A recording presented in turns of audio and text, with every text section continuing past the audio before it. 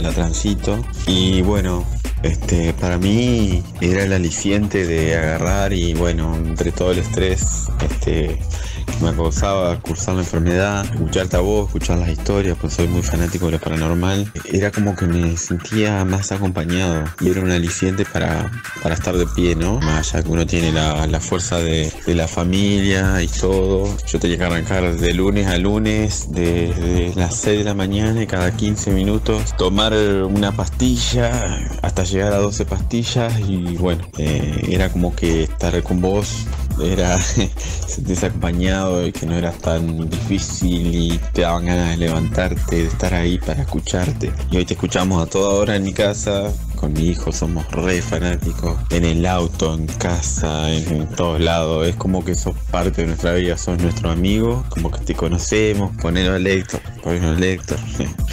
Este, lo más, no cambies, loco, no cambies. Dale, Héctor, ponete las pilas, sosegate un poco que te va a agarrar Morena, que es una chuki. Héctor, querido, Mona, muchos saludos para ustedes, mucha bendición. Bueno, te quería dar las gracias. Hoy no te mando mensaje para decirte nada paranormal, sino para agradecerte la compañía de todas las noches. Y ayer escuchaba y decía esto que decía la negra Bernasi, ¿no? Que cómo cuesta bajarse del auto cuando uno te está escuchando, Héctor. La verdad, espectacular. Vos sabés que yo trabajo todas las noches manejando un auto en una empresa de seguridad y nada, los fines de semana es como que me falta algo. No estás vos para escucharte, para hacer más ameno el trabajo. Es espectacular. Te escucho desde hace mucho tiempo, antes que te fueras, ahora volviste, así que nada, súper feliz de que hayas vuelto. Sos el mejor. Aguante la trasnoche paranormal. Un abrazo. Hola Héctor, vos no necesitas un bloque más largo en otros programas. Vos necesitas tu propio programa. Aguante la noche paranormal. Te sigo desde Comodoro.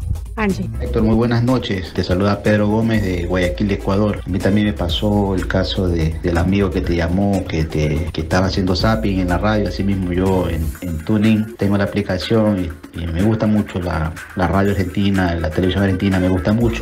Y estaba así buscando algunas radios y en la noche conecté con ustedes, con las historias. La verdad que a mí me gusta mucho lo paranormal. Soy mariconcísimo, me da mucho miedo, pero ahí estoy, soy masoquista, me gusta. Y la verdad que llevas tu programa muy chévere y disfruto mucho la historia de la gente. A veces son unas terroríficas, pero bueno, son, son bacanes. Bendiciones, hermano, y saludos a toda Argentina que, que salgan de, como, como todos nuestros países de, de Latinoamérica que están, estamos jodidos económicamente, que podamos salir adelante. Bendiciones a todos los argentinos. Cuídense mucho. Chao, chao. Buenas noches, acá Ramón de Cañuela reportándose. Gracias por ser mi, mi compañía en el trabajo y luego en el regreso a mi casa. Gracias chicos, aguante la noche paranormal. Ramón de Cañuelas. Hola Héctor, buenas noches. Aquí Sergio, reportándome de Claypole al país hasta las 12. Firme, Héctor.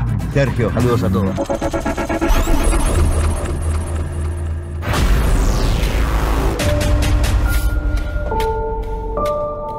Una época en la que escasean las ideas en televisión.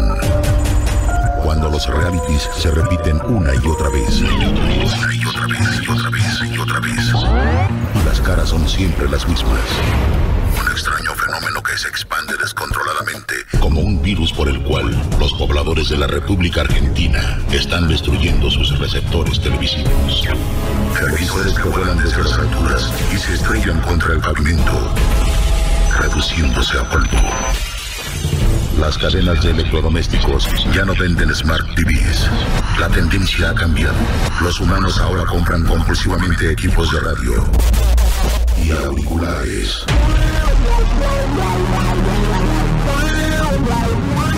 Pasajeros que suben a taxis y piden a los choferes que suban el volumen porque quieren escuchar atentos. Familias que cenan sin una caja boba que las distraiga. Trabajadores nocturnos que se sienten acompañados y que disfrutan cada hora juntos. Chicos y chicas de todas las edades que escuchan y comentan lo que pasa en sus grupos de WhatsApp. Las noches de la Argentina están cambiando. Siempre. Todos unidos en un mismo programa de radio. Un lugar donde los oyentes son protagonistas. Historias de terror reales, contadas en primera persona. Bienvenidos a este viaje de ida. Esto es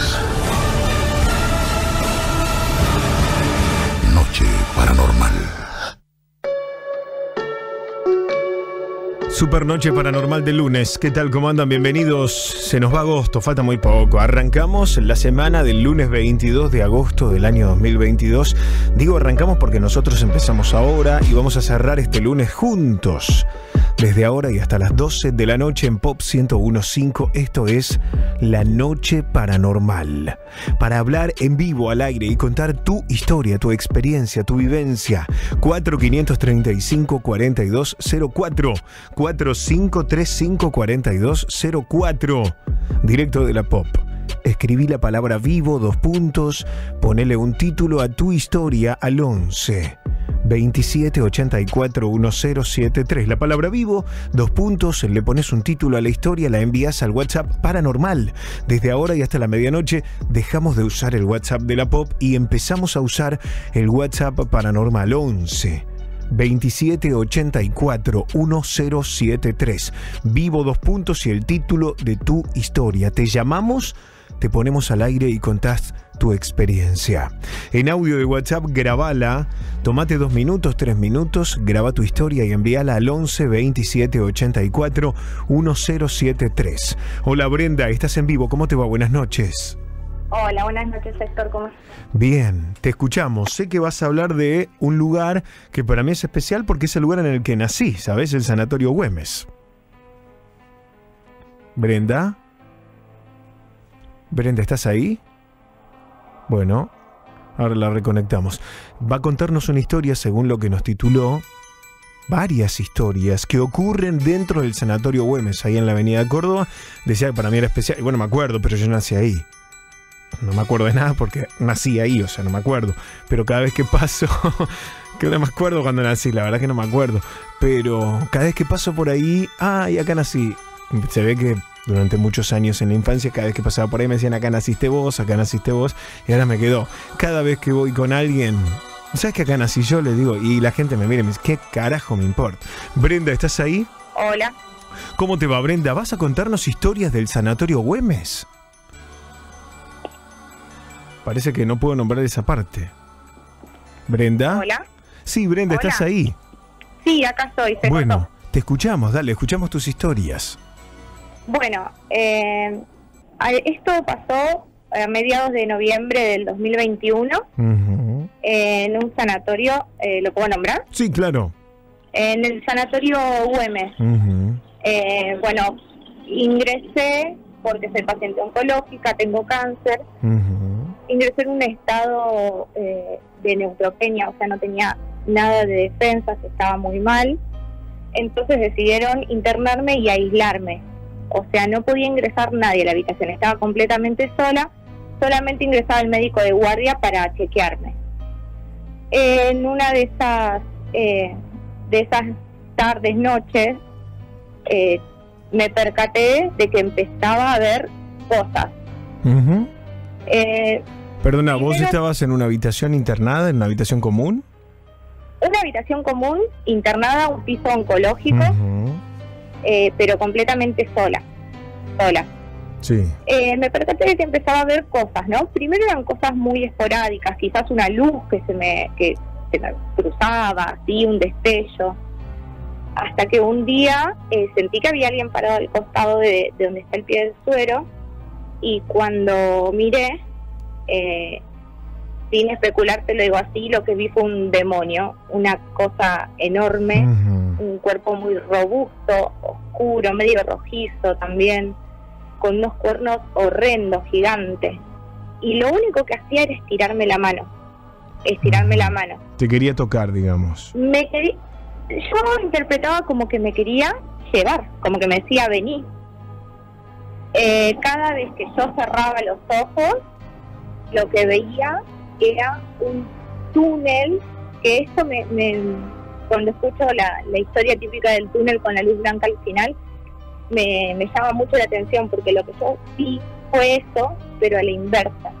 Esto era un túnel como para que te lo imagines como si fuese una tripa, digamos, Ajá. que se ve la vascularización. Sí, sí. Bueno, horrendo, horrendo. Y cada vez que yo cerraba los ojos veía ese túnel y como que tenía un recorrido largo, ¿no?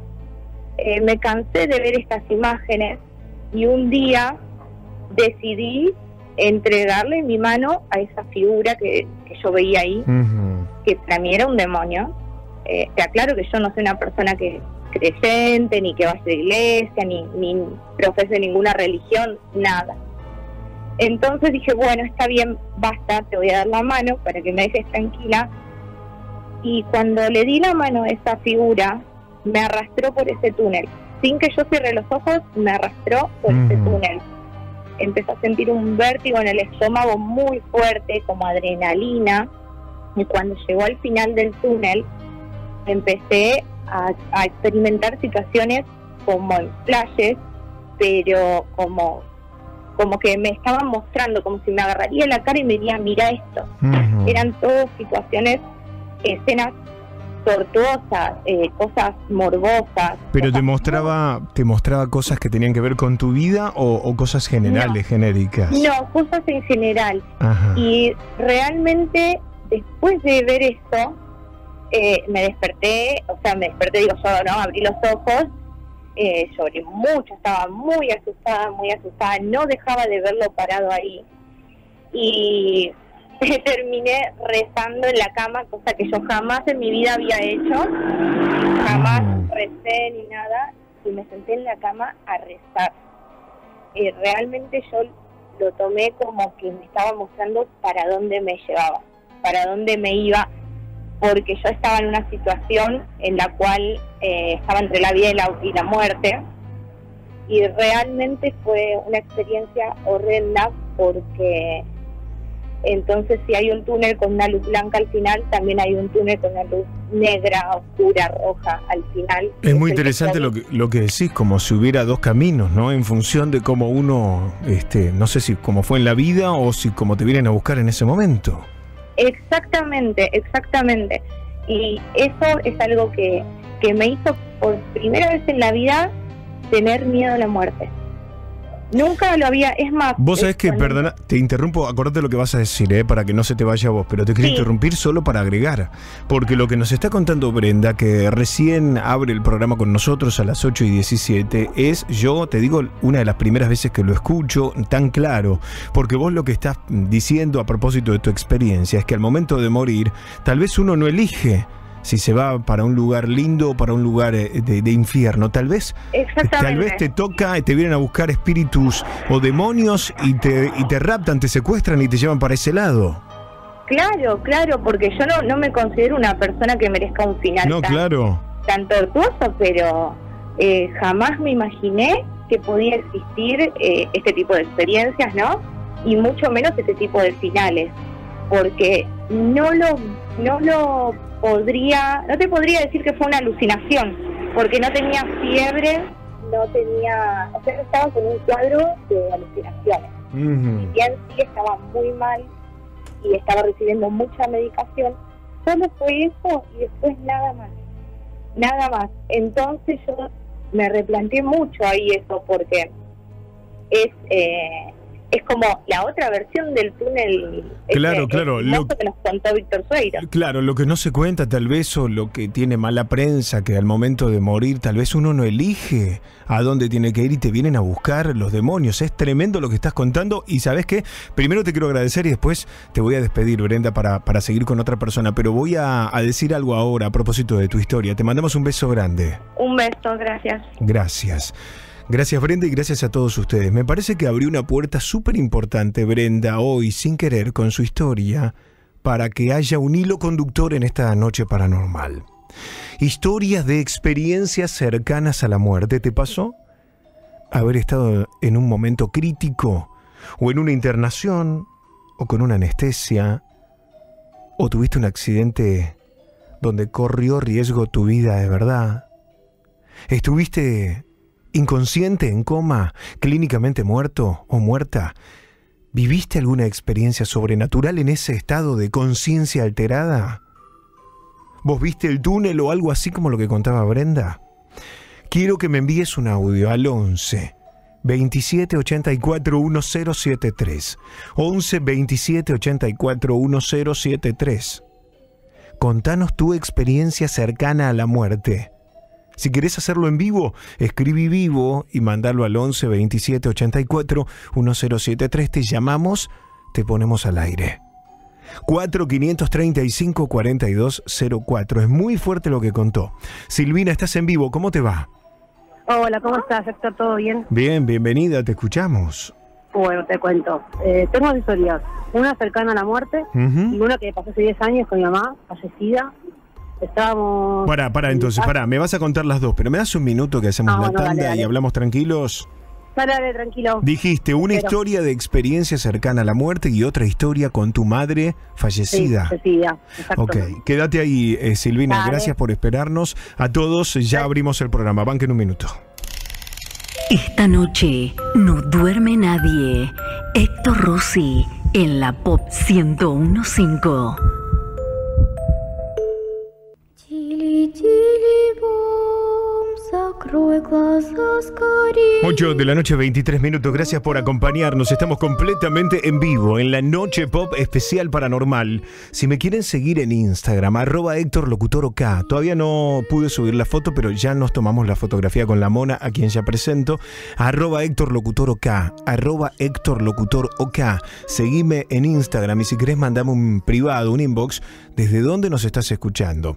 Hay un pequeño contenido paranormal que subí a mis historias, que es ovni que se ve re bien. Un video de un ovni que me pasaron hace un rato cuando venía para acá, que se ve nítido, nítido. Viste que siempre estos videos la gente dice, pero qué boludo, los fantasmas siempre tienen un teléfono choto, el que graba eso, un Nokia de esos de los 90. Bueno, no, se ve re bien. Metete en mis historias de Instagram, Héctor Locutor OK, arroba Héctor Locutor OK. Seguime primero, mandame un inbox desde donde nos escuchás. Eh, Ya tengo muy estudiado este programa, ya tengo bien en claro que los lunes es el día de mayor interacción que tenemos. Los viernes capaz hay menos interacción, pero mucha más gente escuchando, ¿saben? Es una cosa de locos lo que pasa con este programa. Pero hoy que estás vos ahí, que interactúas a pleno, se ve que el, el hambre de la noche paranormal, del fin de semana, que ahora volvimos en vivo, te dan ganas de escribir. Escribime en arroba Héctor Locutor OK, mandame un inbox, Héctor, te estoy escuchando. ¿Desde dónde? ¿En qué provincia? ¿En qué pueblo? ¿En qué localidad? ¿En qué país estás? Héctor Locutor OK. Y lo que me olvido de decir siempre es que este programa y todas las historias centrales, como la de hoy, que es estreno, de la cual vamos a vivir un adelanto en un rato, todos los programas y todas las historias yo las subo a mi canal de YouTube, que si todavía no te suscribiste, es ahora el momento. Héctor Locutor, búscame en YouTube. Héctor Locutor, vas a ver mi carita ahí. Apretá el botón de suscripción, suscríbete al canal de YouTube y tocá si querés la campana de notificaciones. Cada vez que yo subo algo nuevo te llega una alerta al teléfono o a la compu y no te perdés nada. Y podés hacer maratón de la noche paranormal y podés escuchar los programas viejos, las historias centrales, en retro, todo está en mi YouTube Héctor Locutor, Héctor Locutor. Silvina, me estabas esperando, ¿estás ahí? Estoy acá, Héctor, ¿cómo Bueno, ahora sí. Vamos por primero por la experiencia cercana a la muerte, ¿te parece? Dale. Upa. Esto fue, sí, sí, en la plaza. Sí. fue en marzo de este año. Yo tuve neumonía galopante, medio Ujú. masticada, casi me muero. Y empecé con mucha fiebre, eh, 42 de fiebre.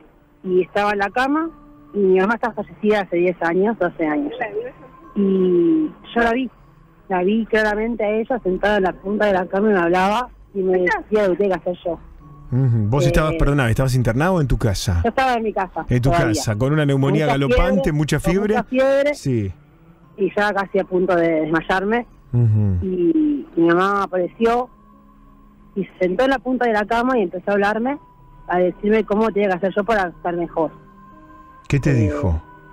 Y que ponga buenos fríos en la cabeza, en la nuca, en las muñecas. Ah, te dio como consejos. Sí, sí, sí, me habló, claramente me habló y mi marido estaba al lado mío y digo, ¿con quién hablas? ¿Con mi mamá? ¿Cómo que tu mamá? Sí, sí, mamá está acá, sentada en la cama, está hablando y está diciendo que esto, esto, esto, esto y esto. Y me dio un montón de pautas para que estuviese mejor. Y bueno, desde ese día me bajó la fiebre, después un poquito más. Uy, cuidado, los perros se están atracando, están siguiente me mordiendo internaron. los caniches como locos. ¿eh? sí. Al día siguiente me internaron y me tuvieron que operar del pulmón. Eh, Ah, o sea, estuviste complicada, de verdad. Sí, sí, sí, sí, sí, estuve en terapia intensiva tres días. Este, pero bueno, nada, fue café. Bueno, sí, no, para, primero zafaste, pero es fuerte la aparición de tu vieja fallecida que te da consejos como en un momento muy Sí. crítico de tu neumonía. Sí, sí, sí, sí, muy, muy, muy, muy. Dios Este, mío. aparte muy claramente la vi a ella. Che, ¿y la, otra, vida ¿y la otra historia? Y la otra historia fue hace 12 años, cuando falleció en 2010 a causa de un cáncer. Eh, y bueno, estábamos en mi casa, ella veía mucho Space, no sé puedo decir el canal. Sí. Este, la noche, bueno, escuchaba, ella veía mucho el canal Space, eh, cuando el Club del Miedo, se transmitían los sábados a la medianoche. Buenísimo programa que, producía mi amigo Zuckdorf, a quien, Ah, a quien nombramos siempre acá. Sí, ¿qué Y pasó? ella veía ese canal siempre, los sábados, y ese día que había fallecido estábamos todos acostados, 3 de la mañana más o menos.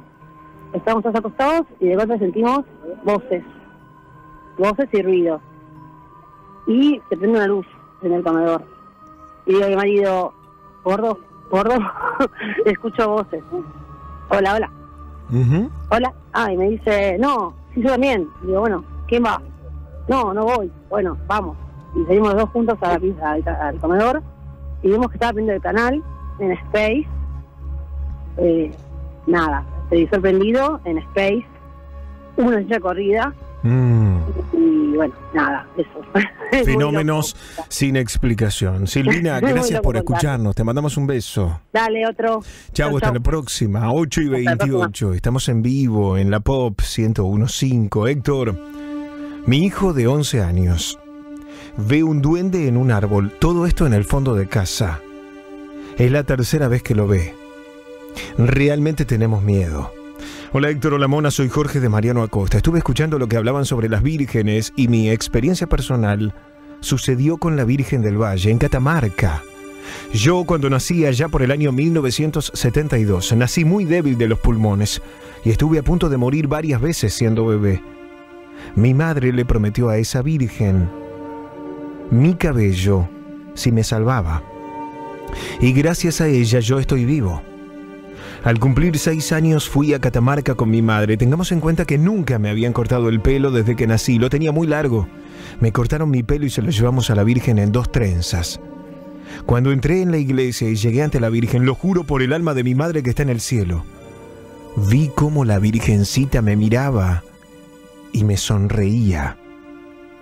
Y sentí en mi alma el júbilo más grande que viví. Gracias por leerme. Esta historia es real. Saludo a Carlos en vivo en el directo. Hola Carlos, ¿cómo te va? Sí, ¿qué tal? ¿Cómo te va, Héctor? Bien, loco, bienvenido, te escuchamos, escuchamos tu historia. Sí. Bueno, sucede que la sema- el viernes esperando en línea para hacerte un relato de una aparición mía que yo había visto y llegó la, la, la enfermera de mi suegra que vino a ponerle insulina. Sí. ¿Ella vive ahí? eh, ¿Tu suegra está ahí en tu casa? Sí, sí, está en mi casa, Ajá, sí. sí. Y la pero yo no, no asisto a la, digamos, a, a la habitación donde está mi suegra, yo estaba en la cocina escuchando la radio. Cuando la enfermera se, se desocupa, eh, que viene a hablar con mi señora, y me dice, ah, está escuchando estos dos, y le gusta lo paranormal. Y le digo, sí, estoy esperando para contar una historia. Y me dice, ¿usted cree en eso? Y más o menos. Y me dice, mire, es enfermera de un hospital, de una clínica muy, muy conocida, importante de Capital. No quiso que la nombre. Y me mostró un video, Héctor, que me rompió la cabeza. A ver. Que, sí, ella me dice que había se había producido un deceso en, eh, en terapia intensiva. Entonces ella, yo no sé cómo viene el sistema, llaman a, a- a un personal que, que viene a retirar el cadáver, eh, de ahí mismo del hospital, lo llevan a la morgue, ¿no? Sí. Entonces en ese interín que ella está como hablando por un teléfono para por un interno, eh, eh, empieza a ver que una camilla se mueve del pasillo. Entonces ella la filma con el celular de ella y se escucha patente como le dice a una compañera que dice el apellido, ponele García, García, vení, mira esto. Y viene la amiga y dice, ¿qué es eso, boluda?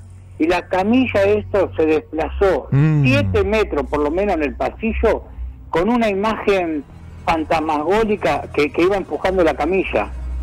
Giró, porque uno dice, bueno, la camilla se movió porque, por X motivo, ¿no? Claro. giró y, y de punta abrió las puertas esa de vaivén de, de terapia. Sí. Y le dice la, la señorita, la enfermera que se llama Lidia, dice, vení boluda, vení, no, no, ¿a dónde va? ¿A dónde va? Y se escucha el diálogo y la filmación. Se vuelven, se llegan al, a la puerta corrediza y enfocan para adentro y la camilla con esa imagen fantasmagórica que dobla y la pone de costado a la donde está el cuerpo y, y esa imagen fantasmagórica es como que se agacha y se incorpora al Dios cuerpo del difunto. ¿Se le mete en el cuerpo al muerto? Sí, sí, sí, sí. Ay, Y- ay, y- ay. No, no. Y entonces, pero tenés que ver, Héctor. Yo le pedí por favor que te mande esa imagen, que ustedes van a saber la forma de inventar o algo para que no se identifique el lugar, pero si es que es real, porque es una señora de barrio, no, No va a inventar, claro, y menos con este claro, tema. Claro, y me, y, y me dice, y si usted se fija, don Carlos, eh, la camilla está puesta en la inclinación justa para subir un cadáver. O sea que era alguien como que sabía lo que estaba haciendo. Pero vos sabés lo que te causa ver una camilla siete metros de recto por un pasillo que gire, entre, cuando ellos la vienen a firmar. Aparte te digo, ni- una película de terror no lo hubiera hecho tan No, tan- tan y bien, como lo estás cuando contando, van- como lo estás contando, genera miedo, más miedo que no, el cine, Cuando querido. ellas se van, ella baja el celular y va filmando el pasillo con los pasos y que le ay, dicen, llamemos a seguridad y la compañera le dice, ¿y qué le vamos a decir, boluda? Claro, claro. Carlitos, quedaron- gracias, gracias por contarlo. Te mando un abrazo. Héctor, gracias, gracias a vos, muy lindo programa, che. Chau, querido. Estamos en vivo, 8 de la noche con 33 minutos. La voy a saludar a ella, que está en la puerta de la pop porque hay visitas en Uriarte y Nicaragua, pleno Palermo. Romina Carballo, la mona. Hola, mona. Hola Héctor Rossi, hola comunidad paranormal, muy buenas noches. Esquina clásica de Uriarte y. Nicaragua. Una querida amiga paranormal, Héctor, Ah, bueno. que viene a retirar su libro, fanática del programa, mandó su historia y ¿sabés quién le dijo que, que mande su historia? ¿Quién? Su hijo Tiago, Tiago, de qué 11 genio. años. Un fenómeno, Tiago. Y un amigo, gendarme, que le vamos a mandar un Ajá. abrazo, que le recomendó el programa. Te paso para que la saludes porque ella es fanática del programa. Por favor, hola, ¿cómo te llamas? Hola Héctor, mi nombre es María. Hola, María. Gracias por el libro. No, por favor. Agradezco haberlo ganado. Ahora salgo y nos sacamos una foto. Bancame, eh, ahora en la, en la tanda salgo. Oíme, ¿de dónde venís? Mira, yo soy nacida en Formosa, pero viví 10 años en Chubut Ah. y hace, va a ser un año que estoy acá en Buenos Aires. Qué locura. Y tenés historias, me imagino. Muchísimas. Eh, eh, me pasó en Formosa, sobre todo Ajá. cuando vivía con mi hermana. Eh, fui a vivir con una de mis hermanas eh, a los 16 años. Había contado que en la casa donde vivíamos juntas eh, fue un destacamento policial. En su momento era casa de sus abuelos, después de su madre. Eh, nada, había mucha, mucha energía, mucha, eh, much- mucho movimiento. Eh, una de las historias que, conté fue eso de, de estar sola en la casa, creyendo que estaba con ella. Eh, me levanto el día siguiente y me, me encuentro con que la persona que estaba al lado mío no era ella, no era mi hermana. Y ella me dice, no, habrá sido mamá la que te estaba cuidando. Ajá. Y, ¿Tu mamá está fallecida? No, mi mamá no, es mamá de ella. Somos hermanas de parte de mi Ah, ah, ah. y me pasó en esa misma casa un día estar con, llevar a una hermana más chiquita mía, que es hermana de parte de mamá. Ujú. Y yo colgando la ropa me dice, mi hermanita tenía unos seis años, me dice, Mari, hay un duende atrás de la casa jugando entre las chapas. Ay. Yo le digo, ¿cómo un duende? Me dice, sí, es chiquitito, tiene el gorrito. Y yo, yo le digo, vamos, vamos, vamos para adelante porque después le digo a mi hermana, no, no, Jackie vio esto y me dice, no le hagas caso. Me dice, esto es común acá, pero no te hace nada, son, son almas buenas. Y yo le digo, no, no Claro. ¿cómo manejas esto con una criatura de cinco años? No? Claro, claro. También así, de, como te contaba, ver personas, estar lavando los platos y ver personas que entran a una habitación o ver huellitas chiquititas que salen del baño hasta la parte de atrás de la casa cuando la casa estaba todo cerrada y había como yuyaralas, imposible que pase una criatura. Todos estos lugares de, de- de campo, digamos. Todos, sí, sí, sí, sí. Oíme, y vos que está buena tu historia, porque ahora estás en la capital, pero estuviste en el norte y en el sur del país. En el sur. ¿Qué, qué sector de la Argentina es más este, proclive a vivir estas historias? ¿El norte o el sur? El norte. El norte, mirá. Sabes que el sur, eh, yo vengo de Chubut, viví un tiempo en Rawson, otro tiempo en Esquel. Pero en Chubut, en Rawson, hay una historia muy buena en la parte de mm, dónde está el faro, que la gente de Rawson, que seguramente también te escucha, eh, conocen mucho, que es la historia de los duendes. Eh, resulta de que se llevaron varias piedras de la parte de Chile hasta Rawson. Se supone que se llevaron siete piedras, que eran de siete duendes. Eh, la cuestión es que según em, se hicieron enojar a estas pequeñas entidades, hicieron hundir siete barcos. Uy, Dios. Y son historias que te Y cuentan pasaron, ahí. Y claro. pasaron, pasaron porque sí, sí, hay como piedras conmemorativas y demás. Hay muy buenas historias. Qué locura, che, bueno. Historias muy ricas en, en todo el país. En todo el pero país. sí, sí, el norte es más proclive. Bueno, Ime, gracias por venir hasta acá, hasta Gracias la por el libro, lo voy a disfrutar. Se lo voy a dar a mi hijo porque es fanático, le encanta todo esto paranormal, así que nada. Escúchame, si tienen Instagram, cuando llegues a tu casa, cuando se lo des a tu hijo, suban alguna foto de historia Dale. y etiquétenme. Perfecto, te sigo. Eh, Sigo dale. vos también. Dale. Mandale saludos a Tiago. Tiago, te mandamos un beso grande. Y Kimei, la niña de más Kimei. chiquitita. ¿Y Kimei cuánto tiene? Cinco años. Cinco, bueno, un beso a Kimei también. Gracias. Gracias por venir hasta No, acá. gracias a ustedes. Un beso grande. Hasta Chao, chao. Mona, volvete cuando quieras. Retornati. Sí, quédense con nosotros. 8 de la noche, 38 minutos. Ya volvemos. Estás en la pop escuchando a Héctor Rossi. La noche paranormal. Escuchar para creer. Hasta la medianoche. Héctor Rossi en la pop 1015.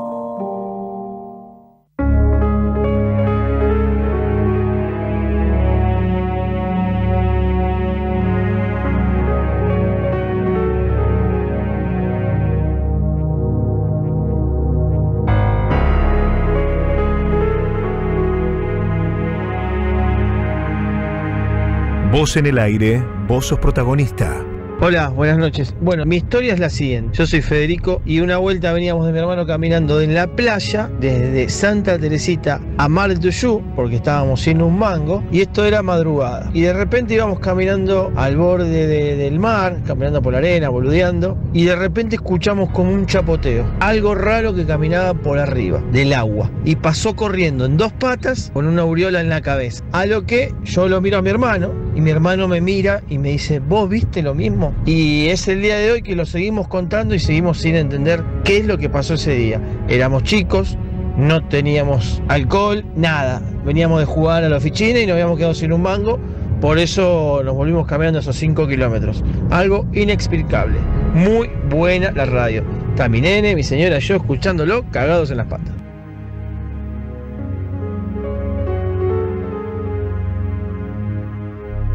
Estás en la pop escuchando a Héctor Rossi. Hola, buenas noches. Eh, bueno, por cuestiones laborales es la primera vez que escucho este programa. Cuestiones paranormales no me pasan. Sueño mucho todos los días y en algunos casos cuando me despierto con una pesadilla, lo que me pasa es que si la pienso en el momento que me despierto de la pesadilla, me vuelvo a dormir y la puedo modificar. O sea, puedo volver y continuar el sueño. No sé si es algo paranormal, sé que es algo que pasa, pero básicamente puedo, hay, hay veces, ¿eh? modificar los sueños y sueño mucho, casi todos los días.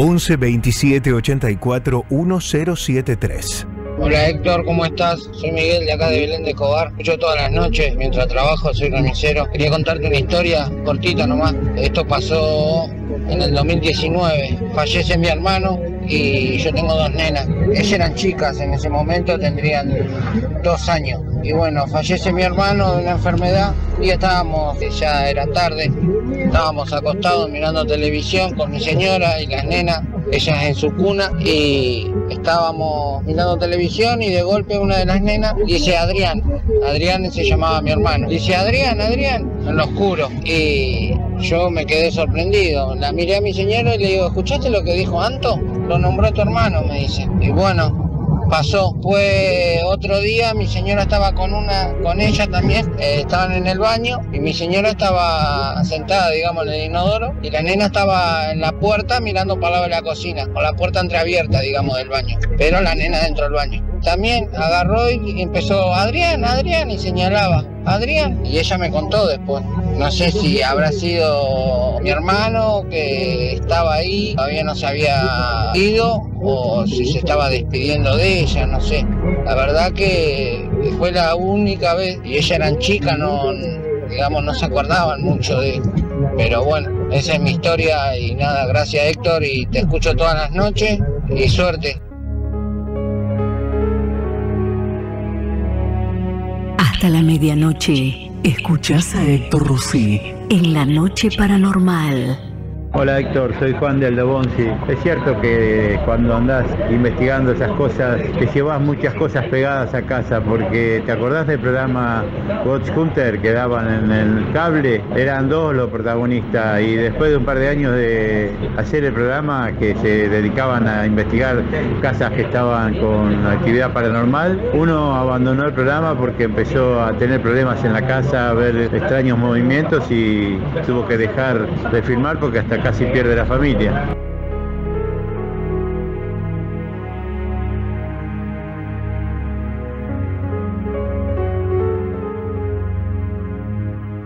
Una más.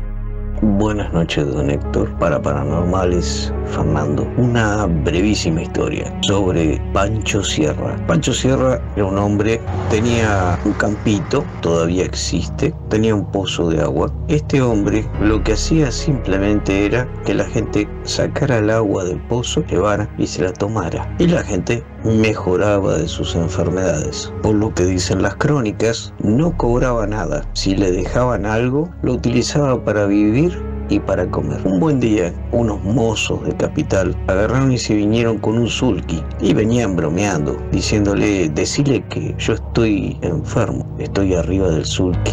Y entonces el amigo va a baja y se va a verlo a Pancho Sierra ahí, donde estaba toda la gente. Pancho Sierra lo mira y le agarra y le dice, mire mi amigo, vaya al sulky y vuelva de nuevo para la capital, porque su amigo ya no le hace falta ni siquiera estar enfermo. El otro hombre se congeló al recibir cuando llega su amigo, así que las fuerzas que se movían ahí afuera de lo que era la propiedad de Pancho Sierra eran poderosas y las que estaban adentro hay más o menos más de 500 versiones distintas de gente que se curó. Una quedó sin curarse por decirlo así. Lo más extraño es que Pancho Sierra curaba simplemente con agua.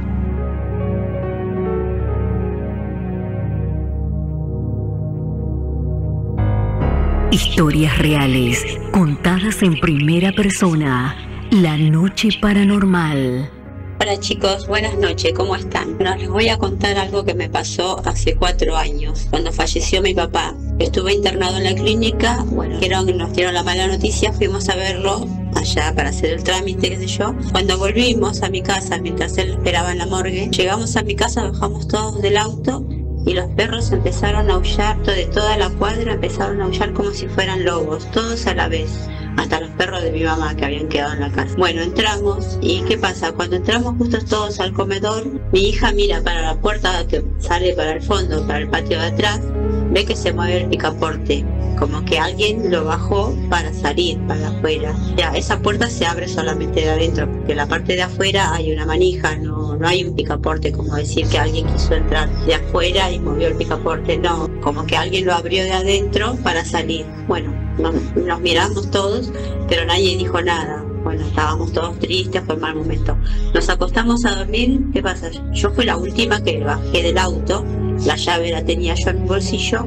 Nos acostamos a dormir, al otro día yo me levanto, voy al auto y ¿qué pasa? Cuando quiero hacer marcha atrás, quiero mirar por el retrovisor y el espejito estaba dado vuelta, o sea, estaba enfocando para adelante, para la parte del capó del auto, no para la parte de atrás. Yo dije, ¿qué pasó? Y no podía hacer marcha atrás. Y se me vino a la mente, fue mi viejo, dije yo, entró al auto porque, eh, no sé, bajé del auto asustada y fui y les pregunté a todos si alguien había tocado el espejo al bajar o qué sé yo, nadie tocó nada, ¿no? Yo fui la última que bajé y la primera que entré. Así que todos me dijeron, no, fue el viejo, fue el viejo. Así que como que él me visitó y conmigo, no sé, yo estaba mal y me acompañó y me cuidó. Así que eso fue la historia que les quería contar. Muy buena la radio, los felicito y yo hace una semana que los empecé a escuchar.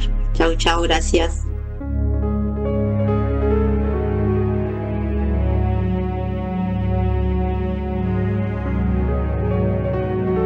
Hay más historias. Buenas noches, Rosy.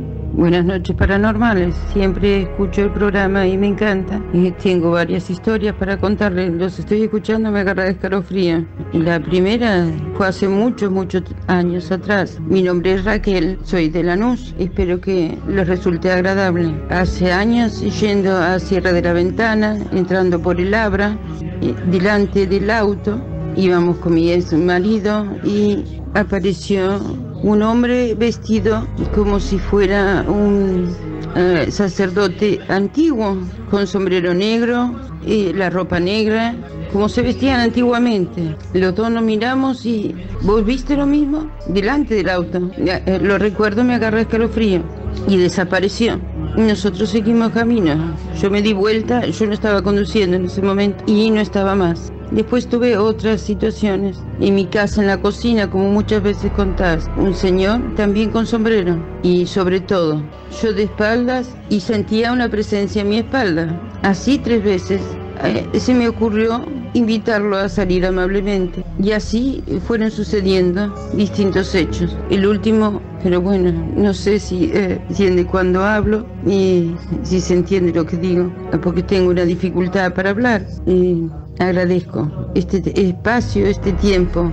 No hay programa que me pierda. Y si no lo busco, me encanta. No te mereces el Martín Fierro. Se merecen, merecen lo mejor, pero lo mejor. Gracias. Excelentísimo programa. La vida al aire, según Héctor Rossi. La Pop. Estás escuchando a Héctor Rossi hasta la medianoche, acá en La Pop 1015. Contanos tu experiencia paranormal. 11 27 84 1073. El WhatsApp de la noche paranormal.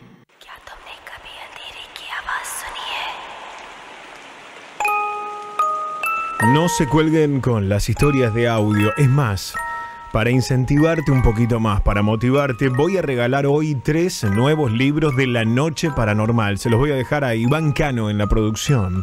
Y le va a tocar a Iván elegir las tres mejores historias que lleguen en audio de WhatsApp desde ahora y hasta las 12 de la noche.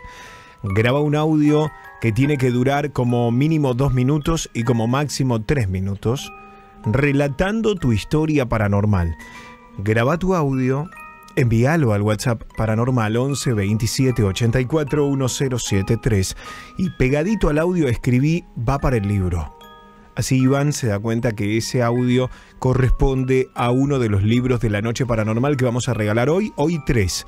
Uno puede ser tuyo. Empezá a enviar tu historia para participar. No es sorteo, no es concurso, es... No hay azar acá. La mejor historia se lleva un libro. Fin. 11 27 84 1073. 11 27 84 1073. Hola Héctor, esto pasó ayer en una plaza de Rosario, cerca de las ocho y media de la noche. Me mandaron un video, una amiga que trabaja en una remisería. Imposible que sea el viento que esté trucado. Pasó en la plaza de Rosario. Lo acabo de enviar al WhatsApp paranormal. Ah, bueno, dice Jorge. Saludos a la mona.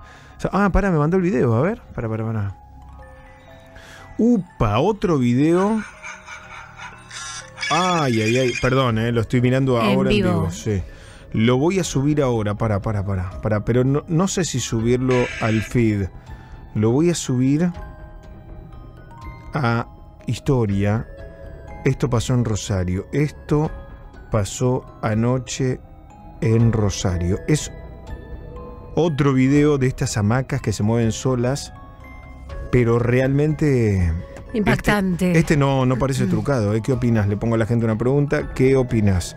Esto lo estoy subiendo ahora a mis historias en arroba Héctor Locutor OK. Arroba Héctor Locutor OK. Te metes en mi Instagram, vas a las historias y podés participar. Pero ya subimos la foto con la mona y los vamos a invitar a todos ahora a las 8 y 56 a reportarse en vivo en mi Instagram, arroba Héctor Locutor OK. Le puse al texto, hacer radio es como juntarse con amigos, pero con miles al mismo tiempo. Con la mona le metemos onda y miedo a la pop. Subimos dos fotos. ¿Cuál elegís? Usá esas dos fotos para reportarte en vivo. ¿En qué lugar de la República Argentina abrís la semana paranormal con nosotros? Arroba Héctor Locutor OK. Arroba Héctor Locutor OK. Ahí están las fotos. Arroba Héctor Locutor OK. Podés comentar qué te parecen las fotos que nos sacamos con la mona. Tratamos de meterle un poco de arte a las fotitos que nos sacamos. Mariana Fittipaldi dice la uno, chicos. En una estamos sorprendidos y en la otra estamos sonriendo. Sonia dice la número dos me gusta. Yaya Rosasco. Fuego dice Andrea Warner. En la dos están muy Me gustan las dos. Mati Megadet. Buenas noches, chicos. Obviamente la foto uno. Hay que sonreírle a los lunes. Hoy laburando en Mataderos. Abrazos. Ferchu dice Mona Héctor, siempre presente toda la semana con ustedes. Danu Rodríguez, son bellos. Ese encuentro lo generan ustedes dos. Ídalo Forever. Joana Costa. Hola Héctor. Los escucho todos los días en mi lugar de trabajo imaginando el momento de cada historia. El programa está tremendo. Saludos desde 25 de mayo. Dale que, sí, que llega el Martín Fierro. Hola Héctor Mona, soy Julián de Luján, los escucho noche a noche paranormal. Excelente programa, está excelente la radio, soy Héctor, saludos, abrazos, te escuchamos de Tristán Suárez de Seiza, te ama Héctor. Bueno, besos. Hola, buenas noches. ¿Qué es ese ruidito Héctor que siempre suena en vivo? Que es similar al ruido que hace una cucharita en una taza de porcelana, dice. ¿Un ruidito?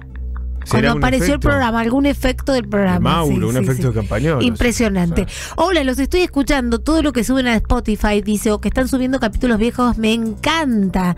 Me encanta. No me lo pierdan las historias retro. Aunque ya las escuché, las quiero volver a escuchar. Lo de Cecilia, por ejemplo, me encanta. Lo vuelvo a oír esta semana. Otro bueno, más. excelente. Dice, Héctor, me encanta el programa. Genios totales y absolutos. Yo te invito a empanadas hechas por mí. Vengan Ya. a hacer el programa en mi casa. No, eh, ¿te acuerdan que la semana pasada propusimos Hay propuestas. como una acción, como en lugar de ir a hacer el programa desde otro lugar y que la gente vaya a ese lugar, la idea que le estamos proponiendo a la dirección de la radio, todavía no hice la propuesta formal, pero, Pero lo hicimos al aire. la estamos haciendo al aire, sería, mira, se me ocurre para el mes de Halloween.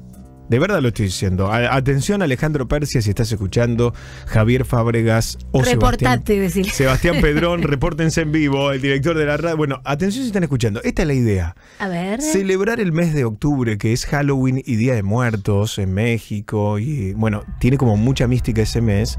Celebrarlo durante una semana, que podría ser la última semana de octubre, cada noche haciendo el programa desde la casa de un oyente distinto. Vamos con la mona, con el equipo, llevamos un dispositivo para transmitir, que debe haber como los que se usan en las transmisiones de fútbol, y salimos al aire desde la casa de un oyente, que obviamente nos invita a comer, vamos a comer nosotros ahí, nos sentamos a la mesa, micrófono auricular y transmitimos el programa desde la casa. El programa al aire va a salir, va a salir igual. Igual, porque hablamos con para la gente, todos. todo igual. Llegan los mensajes, las historias, Todo, todo. igual, pero estamos en la casa de un oyente. Estamos en tu casa, tal vez.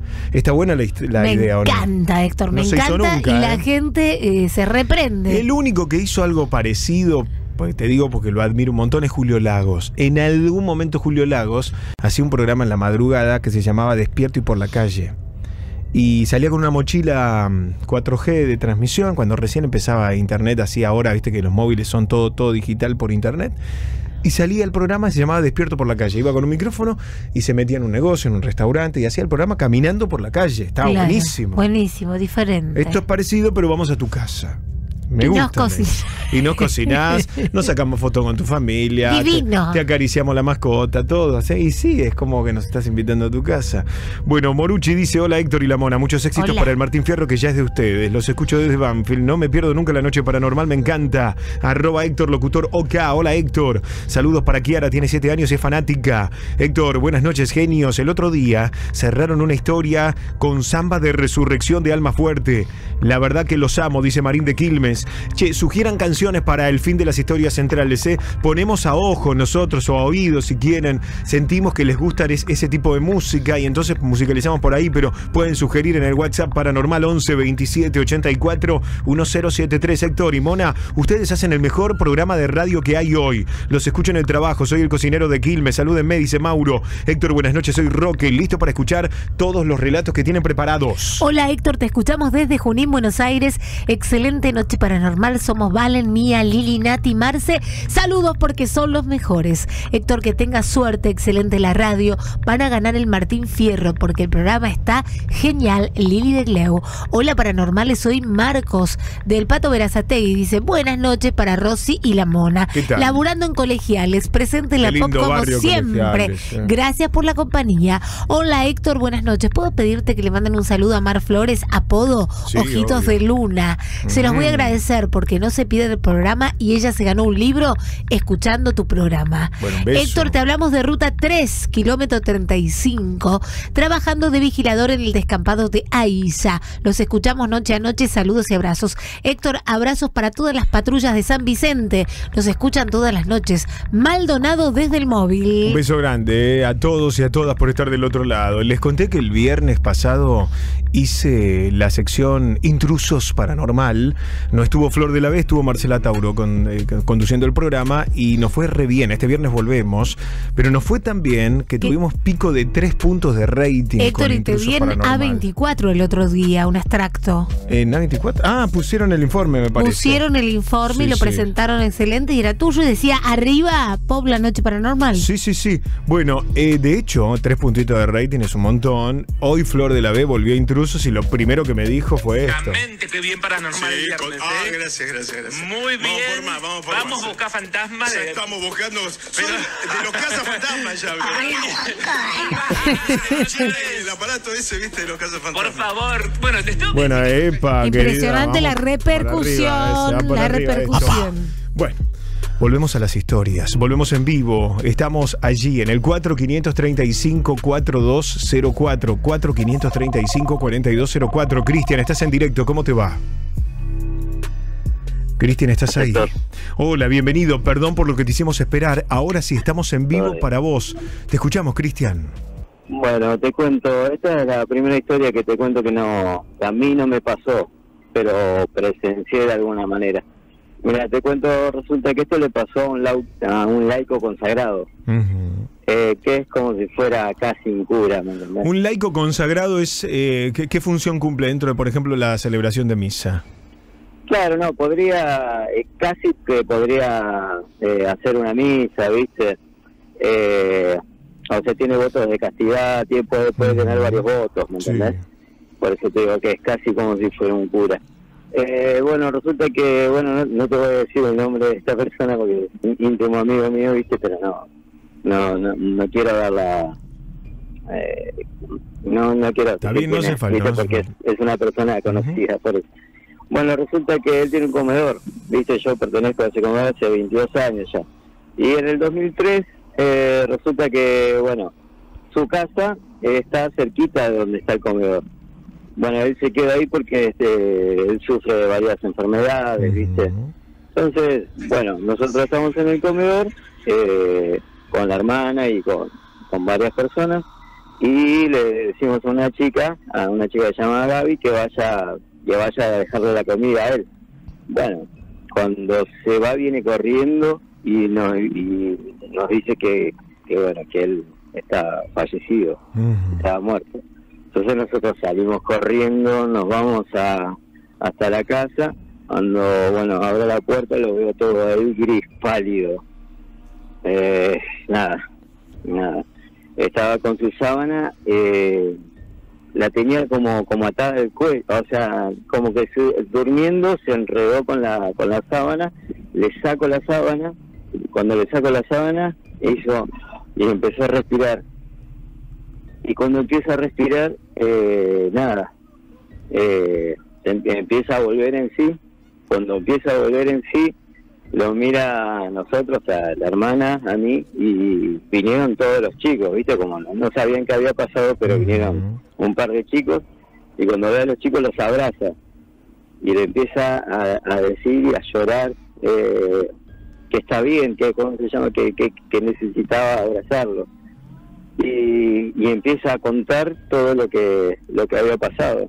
Dice que sintió que de repente como que se elevó y empezó a ver eh, una luz en la oscuridad.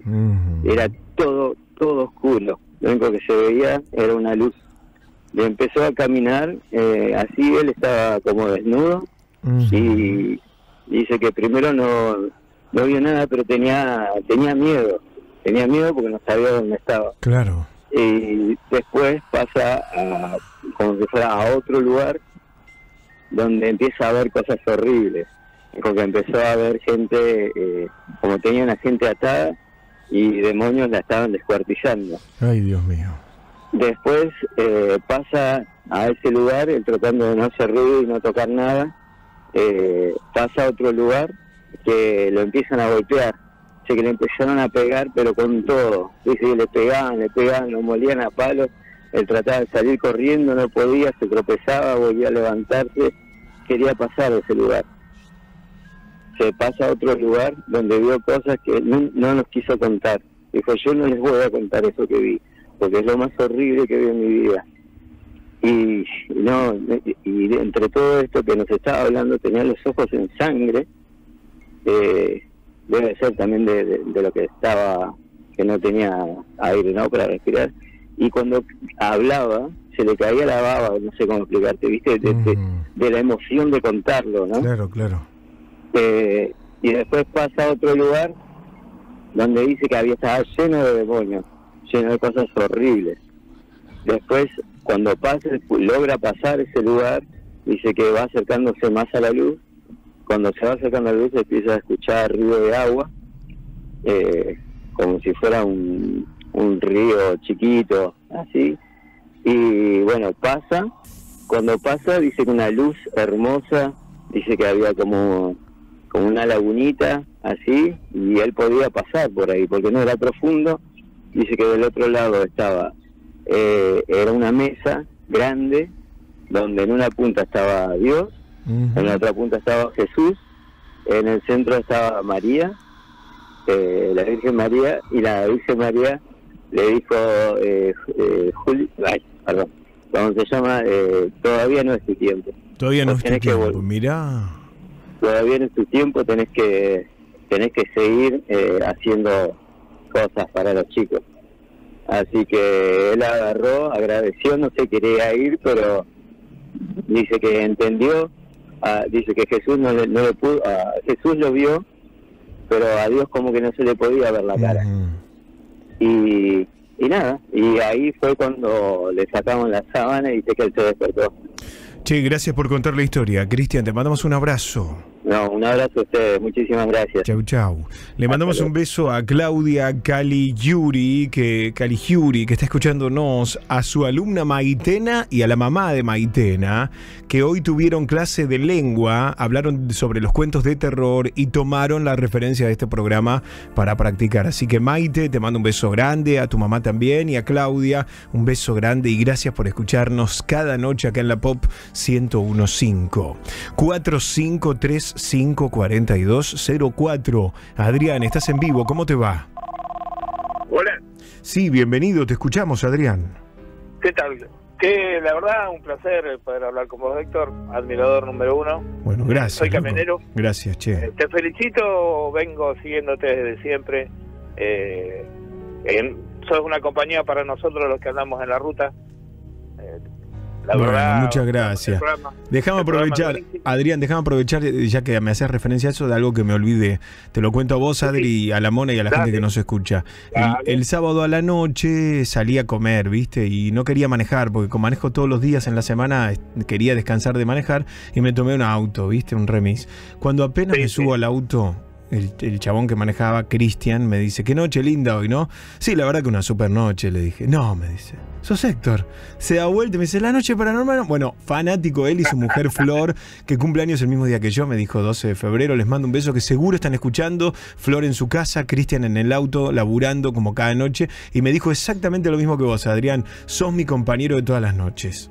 Un saludo para, para el muchacho conductor y bueno, un saludo también algo extensivo yo para mis compañeros camioneros que, que andamos recorriendo este hermoso país que tenemos. Sí, señor, sí, señor. Bueno, ¿y las historias que, que traes por dónde vienen, Adrián? Mira, ahí te paso.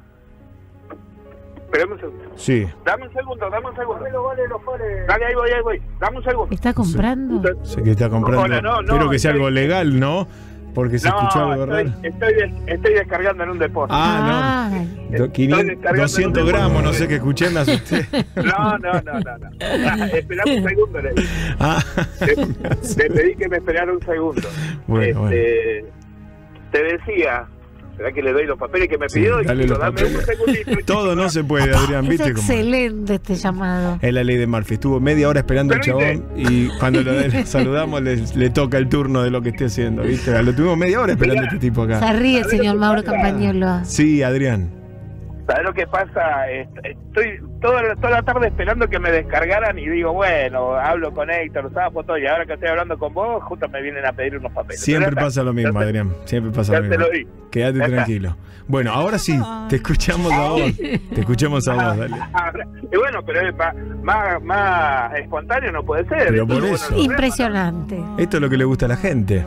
Y sí, por supuesto, eso es espontáneo. Además, te quería decir, ya que eh, hablaste del, del, del, del programa de Julio Lago, de Sí. eso, venite, subite a un camión y viajá con nosotros y ya vas a vivir muchas experiencias paranormales También. vos en, en También carne propia. me la banco, me la banco, ¿eh? La, Me, me la encantaría. ruta, la ruta, en la ruta tenés carne de cultivo, ahí tenés de todo. Sí, no, no, me imagino, me imagino y me animo, ¿eh? Y me animo. Te veo, Rosy.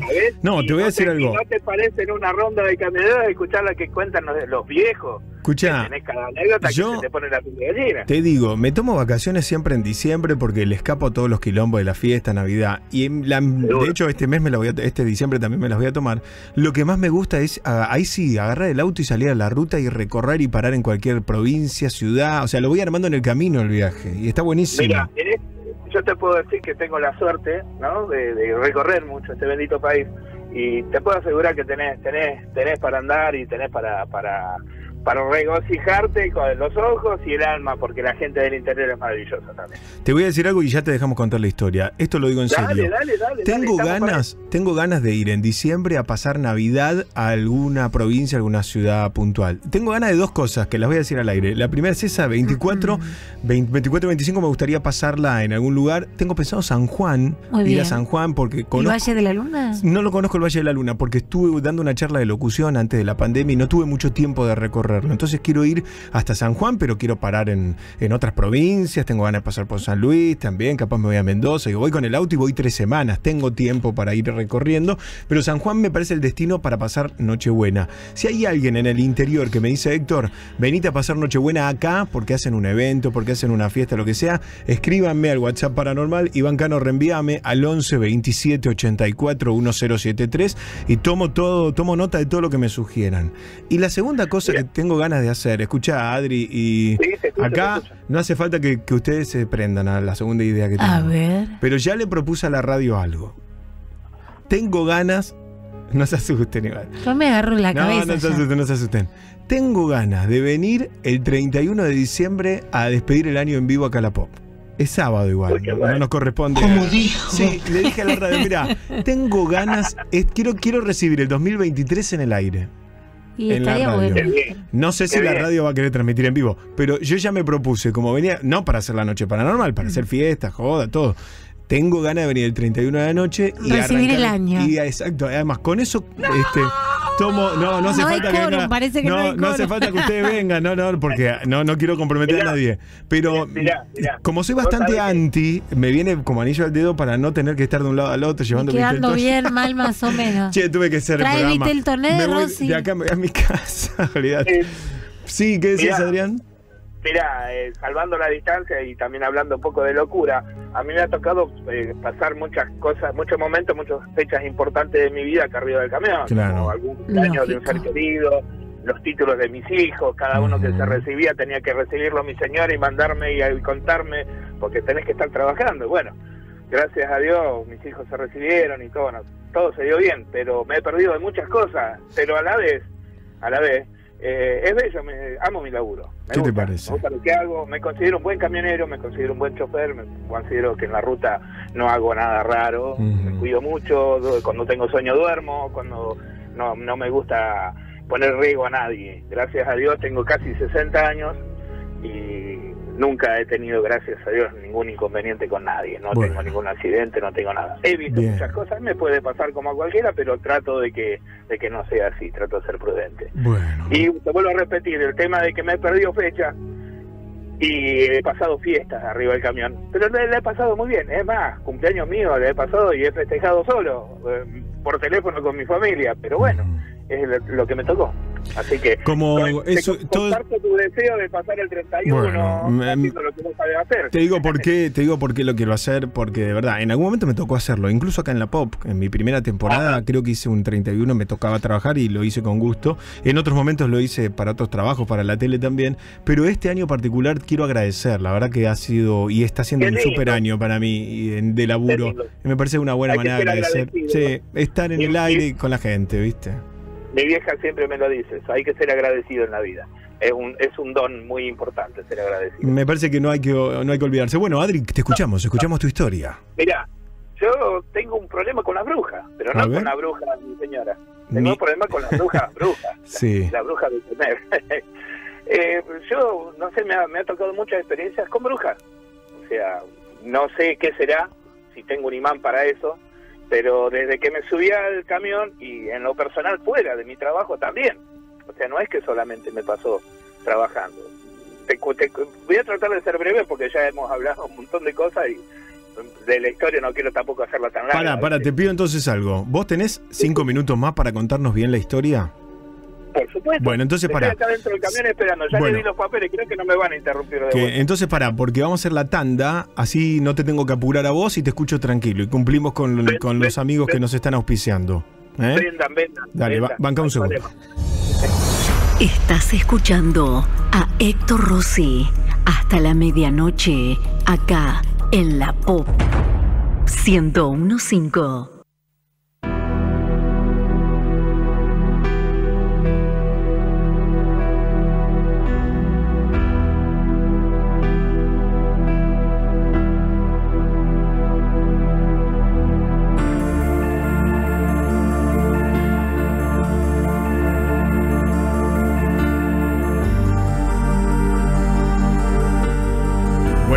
Bueno, acá estamos, ¿eh? 9 y 20 de la noche, Adrián querido. Ahora sí, estás ahí. Acá estoy. Ahora sí, te escuchamos. Escuchamos la historia con, con esa bruja. Esas, porque tuve va- eh, varias, varias experiencias con el tema de brujas. Bueno, con este trabajo que hago, ando mucho de noche.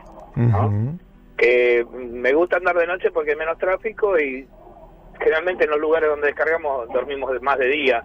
Entonces tratamos de aprovechar que hay menos tráfico y está más tranquila la ruta y hacer lo más posible de noche. Siempre y cuando, bueno, me agarre sueño. Y bueno, para dormir. Pero esto me pasó en, tanto en el sur como en el norte de mi país.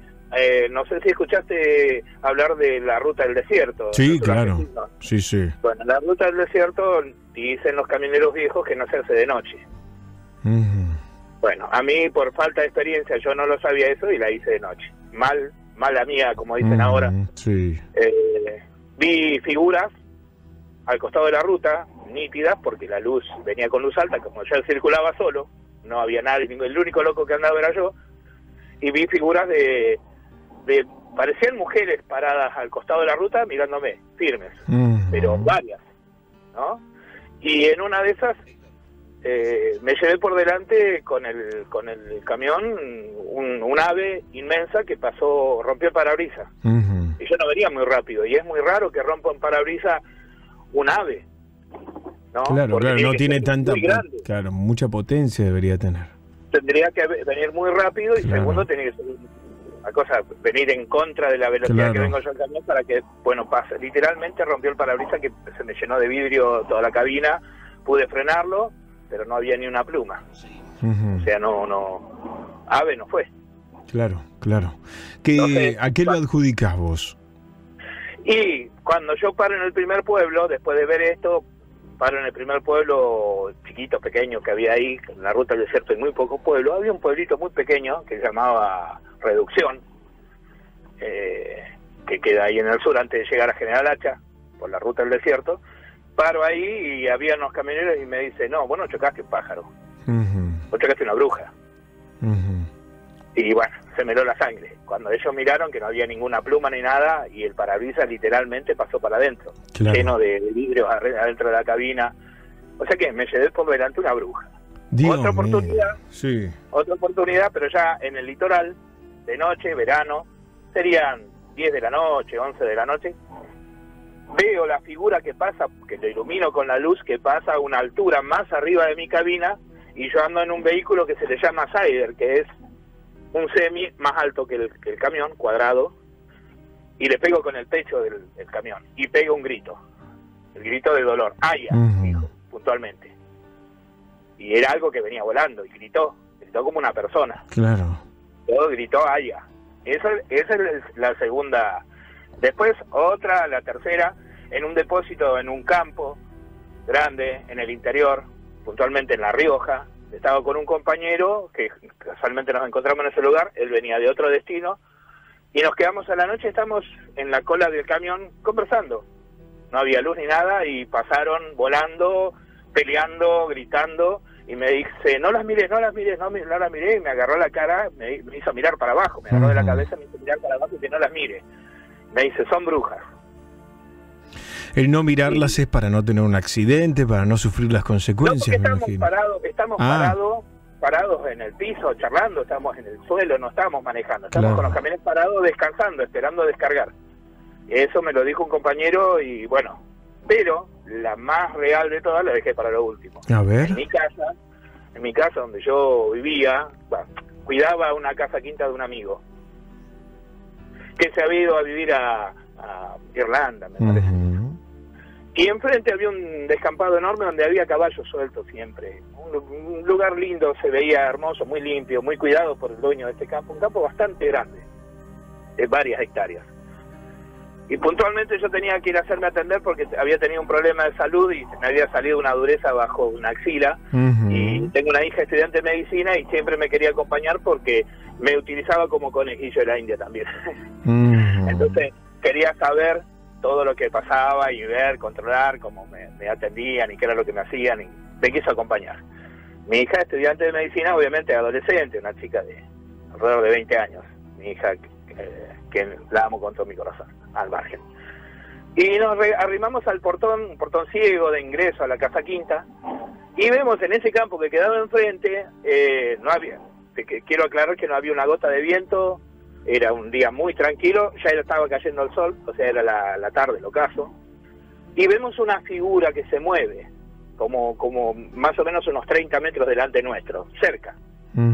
Pensamos que sería una bolsa que se movía, parecía una bolsa de residuos esa de los consorcios o algo así, el color muy similar, Sí. este gris oscuro, y vemos que se empieza a elevar, se empieza a elevar, se empieza a elevar y los dos estamos mirando por sobre este portón ciego que teníamos, que tenía una cerradura muy fácil de abrir del lado de adentro, no sé, de afuera no tenía nada, del lado de adentro era fácil de abrir, y ella estaba con la llave intentando abrirla, o sea, se le traba la llave, primero, pero no por los nervios, se le traba la llave, porque no vio, después ya me, me dice, papi, ¿vos estás viendo lo mismo que yo? Sí, le digo, se empezó a elevar, elevar, elevar, esto que estábamos viendo los dos, y lo más puntual que yo recuerdo, que tenía una capucha, la capucha muy en punta, similar a la de Ku Klan, Sí, sí, sí. pero no, no blanca, era negra, gris, oscuro.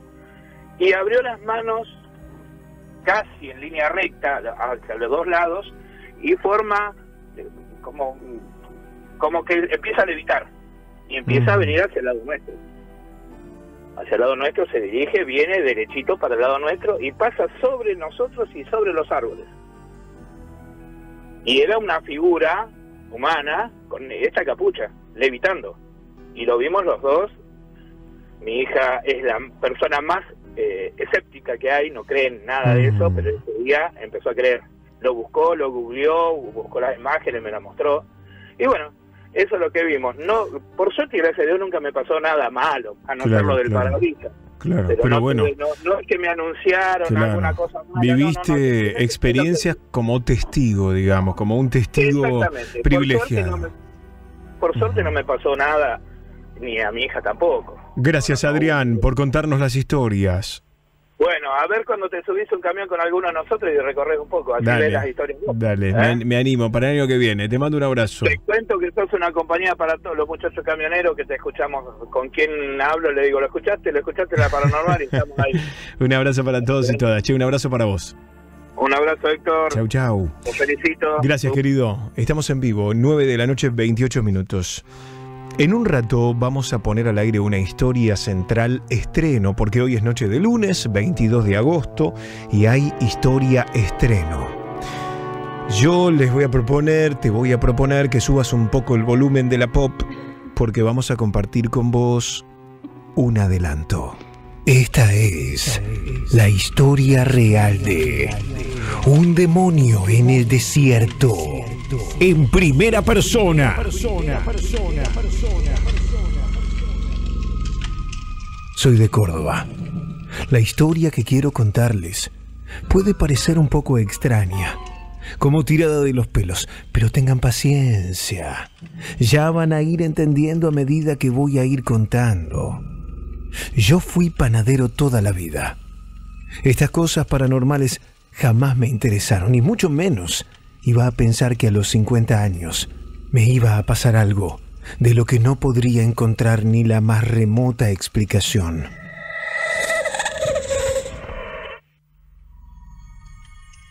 Todo comenzó cuando me divorcié. No teníamos hijos, así que acordamos poner la casa en alquiler y cada uno fue por su lado. Yo alquilé algo cerca de mi trabajo. Un departamento tipo dúplex, con un entrepiso y una escalerita de madera para subir allí. Podía permitirme algo mejor, pero siempre fui más austero. Lo primero que noté es que al subir al entrepiso se me iba un poco el aire.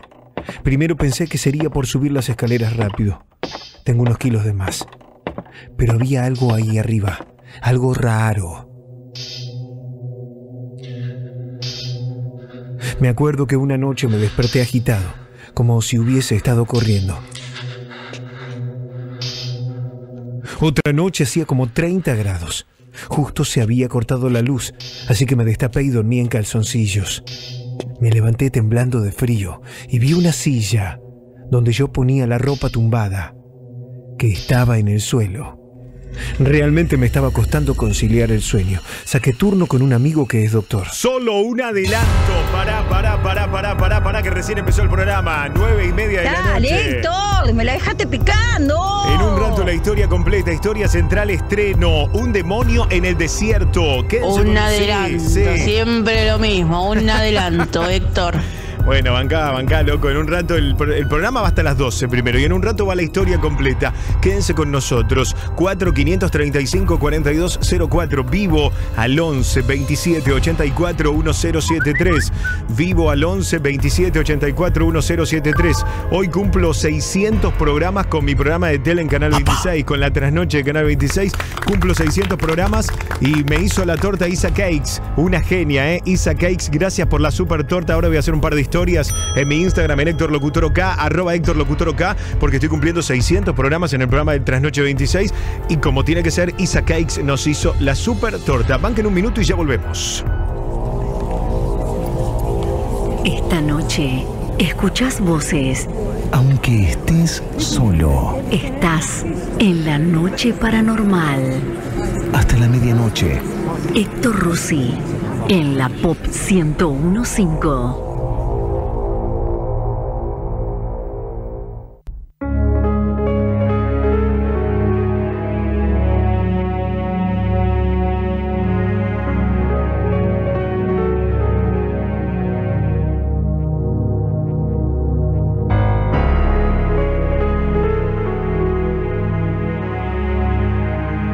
Son historias verdaderas, contadas por sus protagonistas.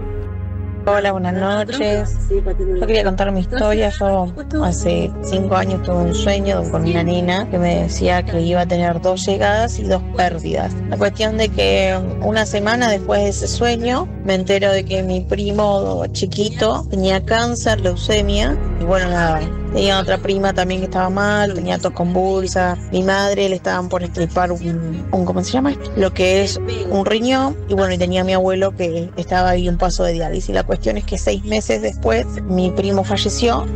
Bueno, ahí nos enteramos que una de mis primas estaba embarazada. Después de tres meses fallece del fallecimiento de mi primo, fallece mi abuelo.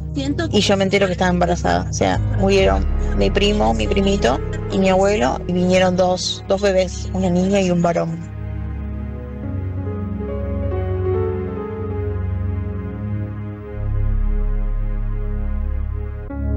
Hasta la medianoche, escuchás a Héctor Rossi en la noche paranormal. Hola Héctor, buenas noches, ¿cómo están? ¿Cómo anda la mona? ¿Cómo anda todo el equipo? Bueno, la verdad que los escucho de siempre. Me han pasado muchas cosas, de hecho muchas historias las he contado, varias ediciones del, programa. Y justamente cuando hablaban la vez pasada de los seres queridos eh, o de la gente que ha fallecido y que por ahí se aparecen o la imagen de un familiar, como lo que contaba recién la señora, a mí me pasa que yo a mi vieja la perdí hace cinco años, falleció por una enfermedad. Yo, digamos, muchas veces tengo que viajar por la empresa donde trabajo y hay momentos en que realmente la siento. Es como cuando me viene un, pensamiento, una imagen o, la, imagen de su cara.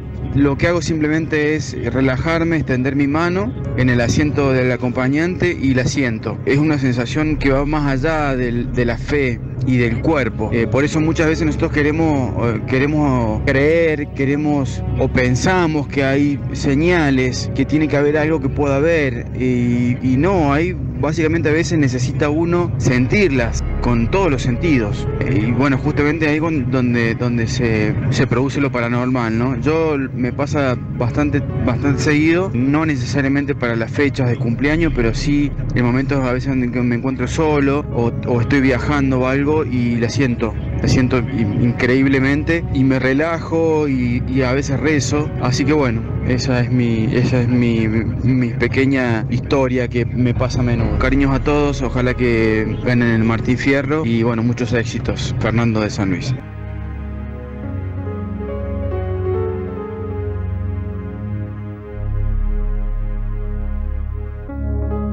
Once 27 84 1073 buenas noches, ¿cómo andan ahí? Todo paranormal. Mirá, yo vivo en Virrey del Pino, Partido de la Matanza. Y hay una calle que se llama Camino Real que te saca la autopista. A otra vuelta íbamos a buscar a mi hermano, trabaja en Monte Grande, íbamos como a las 2 de la mañana. Íbamos por ese Camino Real antes, antes de llegar a un puente, puente de Río Matanza. Eh, vemos que eh, hay un, un jinete un caballo medio por un ladrillo y el hombre iba de camisa, no dio importancia, porque ahí en el fondo la mayoría tienen un caballo. Cuando lo pasamos, digo, ¿viste el caballo? Le digo, señora, dice, no, ¿cuál? La que está allá atrás, digo, es el espejo y no estaba más, no estaba más el, el, el jinete.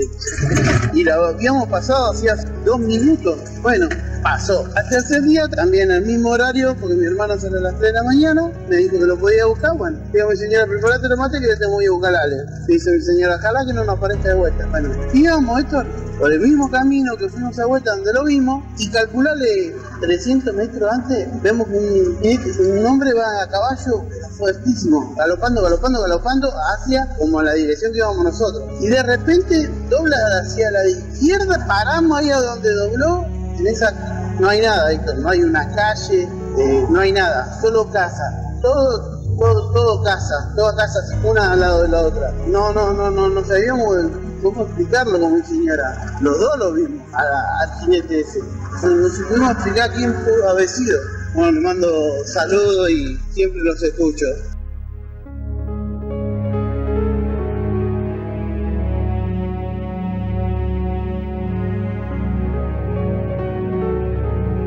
Estás en la pop escuchando a Héctor Rossi.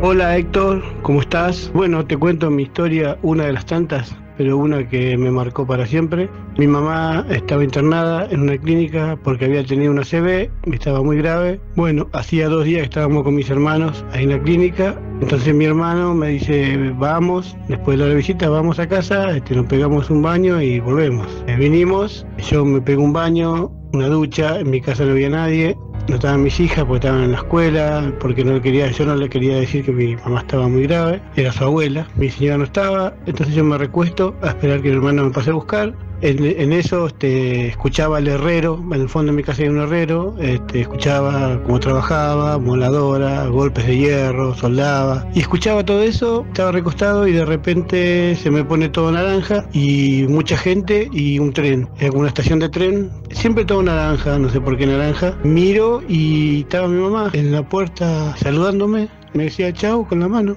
Bueno, mm, se fue ella en el tren, sonó el teléfono porque lo tenía al lado de la mesa de luz, sonó el teléfono y es mi hermano que me dice, mira Fabián, me llamaron de la clínica, mamá falleció. Bueno, fue muy feo y a la vez una alegría porque mi mamá se vino a despedir de mí. Muy bueno el programa.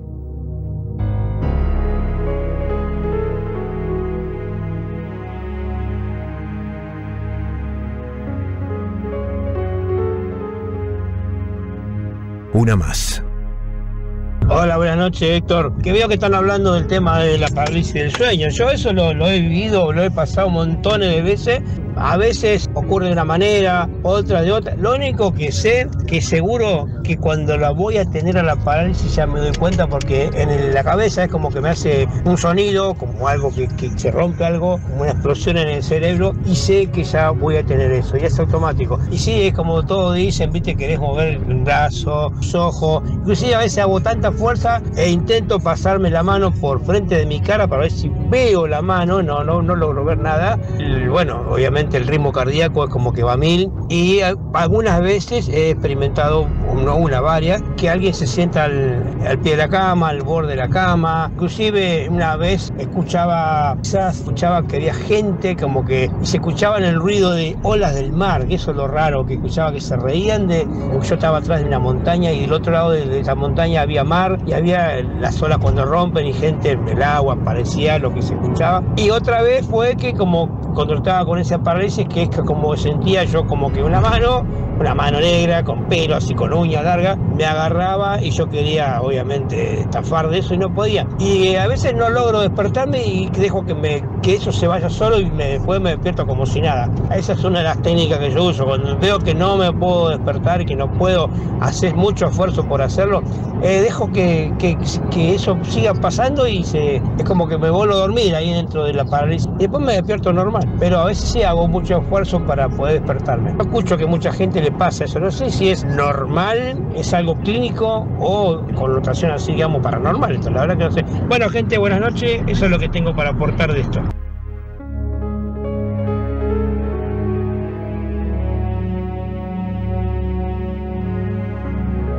Héctor Rossi en la Pop 1015. Buenas noches, Héctor. Hola, Guillermo Casa Miguel. Yo trabajo con las aplicaciones. Esto me pasó hace poco. Voy a arrancar con el final y termino con el principio. Sentía que yo trabajo con las aplicaciones, como te dije. Sentía que la gente me tocaba bocina que no daba bola, ¿viste? Por ahí se la maniobra mal o no. Bueno, pasa. Después sí, pero cada tanto pasaba algo parecido, ¿viste? Hasta que un día un tipo me dice, la nena, me dice, la nena, está sacando la cabeza por la ventana, ¿viste? No le di bola. Después me pasó otra vez, después me pasó otra vez así, varias veces. Hasta que me empecé a asustar el niño, ¿viste? Yo no veía nada. Después pude hacer memoria, re- recordé que una señora, no sé, unos pares de semanas atrás había dicho, me, pasé- me pareció algo raro. Había, te bajó viste, son esas personas que no te olvidan más la cara o más, que te quedan grabadas su rostro o algo que hicieron, te quedan grabado y te acordás. Me pagó, se bajó a mitad de camino y al bajarse dijo, yo no quiero jugar más con vos. Cerró la puerta. Me quedé pensando ya. Se ve que la señora traía algo, algo, algo lo molestaba, ¿viste? Y ese ya no quiero jugar más con vos. Habrá sido para la nena que me dejó acá en el coche. Hasta que caí pasó eso, ¿viste? Bueno, caí, bueno, me empecé a asustar. Me siguió pasando que me han tocado bocina y eso. Como que ya en una le dije como que no saque la cabeza, ¿viste? Ya estaba, había puesto loco yo también. Como acostumbrado que estaba, que estaba acá. Hasta que, bueno, me asusté tanto, tanto, tanto que un día le pedí que se baje, que ya no quería jugar más con ella. Y el viaje que hice fue de San Miguel, fue cerca de Lemos hasta, bueno, hasta Bellavista. La chica se bajó ahí. Así que bueno, Héctor, esa es mi historia. Un abrazo y saludo para todos los muchachos que laburan con las aplicaciones.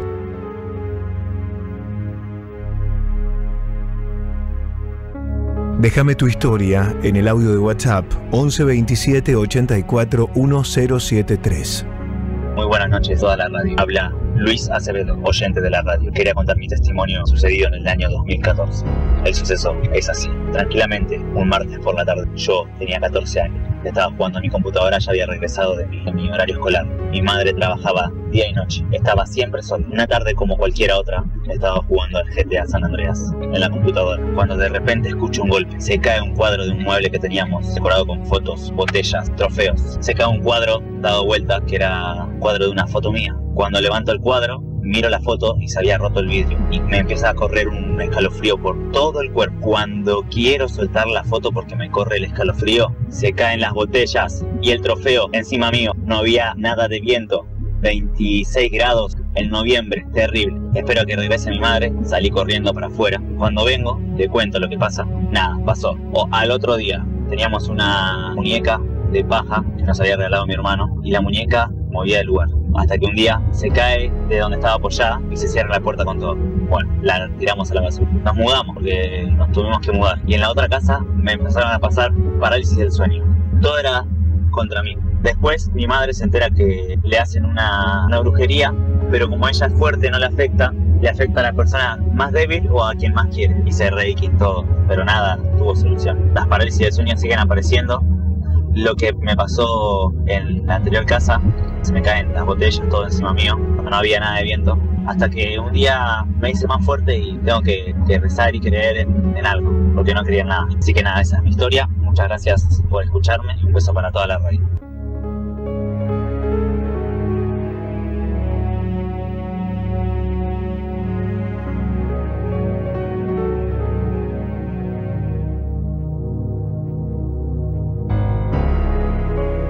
Hay más historias. Hola Héctor, buenas noches. Mira, yo soy de un pueblo de chico de la provincia de Córdoba y quería contarte mi historia. Cuatro murió mi abuelo, 25, se me apareció literal, literal y me abrazó y me dijo, cuida mucho a tu mamá. Después de dos años vivimos muchos sucesos en mi casa. Yo escuchaba a un bebé llorando, mi hermano escuchaba piedras que tiraban arriba de la casa, mi hermana veía cosas en la pieza, mi mamá veía un cementerio delante de mi casa y muchas cosas. Un día mi papá trajo un curandero y me dice, ¿a dónde escuchas vos, bebé? Allá en el fondo. Fuimos al fondo del patio, desenterró una manta con huesitos de bebé. Después, una noche, vino una curandera, porque mi mamá seguía viendo el cementerio. Fuimos al baldío que estaba cerca, al lado de mi casa. Ahí tenía un rosario enorme, grande, no había viento, no había nada, una noche recalma. Y agarró, empezó a girar, el rosario empezó a girar solo y quedó inclinado de una forma te vas a reír, pero bueno, así tipo Michael Jackson cuando quedaba inclinado de la nada, teniéndose de la nada. Bueno, quedó inclinado el rosario ese, indicaba un lugar. Chabón que acompañaba a esta señora, la empezó a desenterrar y sacó una manta con un sapo muerto, o sea seco, y la boca cocida. Adentro de ese sapo, descoció la boca, había una foto de nuestra familia, como que, bueno, querían matar, o sea, eh, mi vieja lo sufría más porque era la más débil, y aparentemente también nosotros porque escuchamos las cosas, pero bueno, después de ahí, de esas cosas que, que pasaron, curaron, hicieron la cura todo y no pasó nunca más nada, fue de terror. Las noches esas que mi mamá se levantaba a veces de la nada y se empezaba a golpear la cabeza contra la pared, nosotros con mi hermano eh, mi hermano más grande, yo era chico y, y mis hermanos la tratábamos de sostener, pero no había forma, era una fuerza muy, muy loca, desangraba, teníamos que llamar a los vecinos para que nos ayuden, porque a veces mi papá viajaba mucho para acá, para Buenos Aires, capital, y, no- y estábamos solos. Fue impresionante. Y bueno, ahora escuchando tu radio y todo esto, o sea, tu programa, que por hecho, de hecho está muy bueno. Mira qué loco, después de tantos años, saco la conclusión de que mi abuelo me estaba avisando algo. Y muchas gracias por escuchar mi historia, fuerte abrazo, espero que en Martín Fierro no se vayan nunca de lo paranormal. Abrazos. La vida al aire, según Héctor Rossi. La Pop. Hasta la medianoche, escuchás a Héctor Rossi en la Pop 1015. Hay sucesos que no podés explicar, pero sí contar. Mándanos tu historia por WhatsApp 11 2784 1073. La noche paranormal. 9 de la noche, 49 minutos. Este programa y todos los programas de la noche paranormal los cuelgo en mi canal de YouTube que es Héctor Locutor. Suscríbanse gratis, suscríbete gratis a mi canal de YouTube Héctor Locutor. Ahora apreta el botón de suscripción, toca la campanita de notificaciones, así te llega una alerta cada vez que subo un nuevo contenido o una nueva historia central. Héctor Locutor, mi canal de YouTube. Héctor, soy Nadia de Chascomús. Te escuchamos con mi familia todas las noches. Mi historia paranormal empieza desde que soy chica en la casa de mi abuela. Ella hacía cosas raras como poner en un plato agua con gotas de aceite y decía que veía cosas.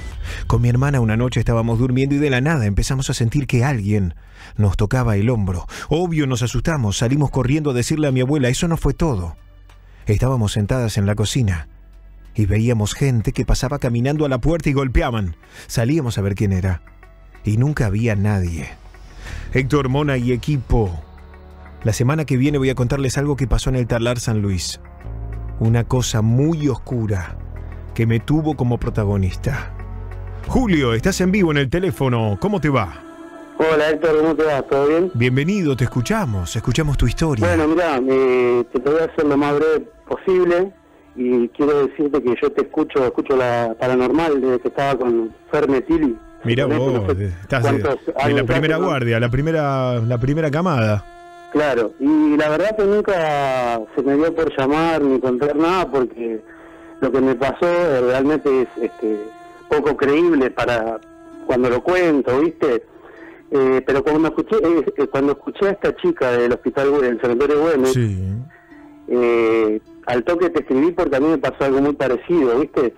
Yo estaba, me internaron por una falla renal, estaba reintoxicado, bueno, me hicieron estudios de urgencia, qué sé yo, pero la verdad que estaba muy mal y de hecho le dijeron a mi mujer que no apagara el teléfono porque seguramente no iba a pasar la noche, ¿viste? Mm. Y bueno, y en, y en- y en un tiro eh, me despierto en un lugar así, en- todo descampado, terreno baldío, como tipo Walking Dead, ¿viste? Todo, todo destrozado, todo oscuro, y empiezo a tener frío y, y- y siento como una sensación de soledad, y digo, ¿dónde estoy? No entendía qué estaba pasando.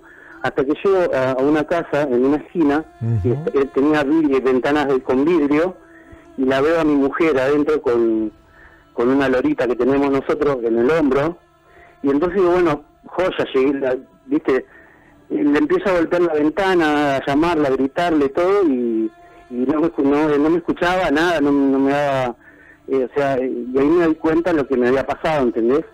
Como que me había ido, este, y fue un- realmente algo muy, muy, muy grosso, ¿entendés? Pero no vi ninguna luz, como dijo la chica, eh, realmente no, no era lo que dicen todos, ¿viste? Sino todo lo contrario. Por eso mismo, cuando la escuché, me, me sentí identificado con lo que me había pasado y te lo quería contar. Che, gracias por, por compartirlo y, y cómo te mejoraste, digamos. Pasaste la noche, obviamente, y qué pasó después. Claro, me hicieron, me tuvieron que hacer diálisis de urgencia. Ay, Dios mío. y con eso se me fue filtrando la sangre de la intoxicación que tenía. Y no, y bueno, el otro día ya, ya empecé a mejorar, estuve en terapia intensiva ocho días, pero por suerte este, ellos dijeron que por la edad que tenía y que estaba bien de- dentro de todo físicamente y de salud, pude, pude sortear ese obstáculo, ¿no? Qué Y ahora, bueno, estoy en diálisis a la espera de un trasplante, pero bueno, lo más importante que quería contarte era eso, que yo realmente le creo a la chica y realmente no es todo luz, Héctor. No, no, claro, claro, claro. Por eso nos llamó mucho la atención. Julio, te mando un abrazo grande. Gracias, buenas noches. Gracias, loco. Hola, Héctor. Buenas noches. Soy Darío de José León Suárez. Te comento, yo hasta hace unos años fui penitenciario. Ahora ya me fui. Muchas cosas oscuras. En las cárceles. Estuve por varias. Pero esta historia pasó en 2009, en la unidad 47 de San Martín. Aquí, del lado del SEAMSE, por buen aire, hacíamos 48 horas y esa noche solo éramos dos guardias para 800 internos. Así estábamos casi siempre. Es una redonda la cárcel con una cancha en el medio. Esa noche yo estaba en el pabellón 4 y 5 en mi puesto, que queda en medio de los pabellones, 3 de la mañana. Mi compañero se iba a quedar descansando. Así que estaba más atento que nunca por si pasaba algo. Entonces, estaba ahí, haciendo el libro de novedades de las recorridas diarias y escucho de afuera que se abre la reja, la que da a los pasillos del lado que estaba mi compañero. Pensé que era él. Esperé unos segundos para que entrara donde estaba yo, porque para el otro lado no se podía pasar, había candados. Solo yo tenía la llave. Esperé un minuto y no entraba nadie. Dije, qué raro. Me levanté, salí y no había nada ni nadie, solo oscuridad en el pasillo y la reja abierta. La cerré y me metí adentro de nuevo. Pasan unos minutos y siento que se abre la puerta de nuevo. Me levanto y salgo, nada. Ahí me puse muy nervioso. Ya sentía algo muy extraño, un frío diferente, algo que no podía ver. Cerré la reja con el pasador. Pensé que me estaban haciendo una broma. Cierro, entro, pero no me fui hasta el fondo, me quedé ahí al lado de la puerta de salida, mirando la reja. Obviamente no pasó nada, pero a la noche siguiente, un interno se suicidó. Zulma, estás en vivo, buenas noches. Buenas noches, Feto. Gracias por esperarnos, te escuchamos. Ayer este, hicieron siete meses que falleció mi hijo, por desgracia. Y el otro día yo estaba escuchando un programa de pastores y siento que me dice hola. Bueno, y hace dos meses atrás yo estaba con el celular de mi hija mirando una serie y dentro de, o sea, salía la voz del celular que decía hola mamá. ¿Vos escuchás la voz de tu hijo fallecido primero en la tele? ¿Apareció por la tele? No, no, en el celular de mi hija estábamos mirando una serie y me dice hola mamá. Y después acá al lado de la mesa de luz, que tengo la radio yo escuchando, siento que me dice hola. Y sea, después del antibaño, el antibaño me chifla dos veces. ¿Vos vivís sola? No vivo sola con mi hija, pero yo tengo mi lugar y ella tiene la suya. Claro, comparten el terreno, pero están en, en habitaciones o en casas Claro, distintas. casas diferentes. Y vos lo escuchás a tu hijo que te llama. Sí, sí, sí, sí. sí. ¿No lo viste en ningún momento? No, por desgracia no. Lo querés ver. Lo que, lo que pasa es que yo soy un casi no vidente, ¿viste? Pero pienso que Dios me va a hacer verlo el día que se me presente. ¿Hoy me y en un sueño tampoco? Sí, sí, dos veces nomás, dos veces. ¿Y qué te dijo? Porque no, no hablamos, no hablamos. Simplemente estaba en una cama porque a él le cortaron una pierna antes de morir. Por diabetes, una pierna arriba de la rodilla le cortaron. Mm. Hor- horrible.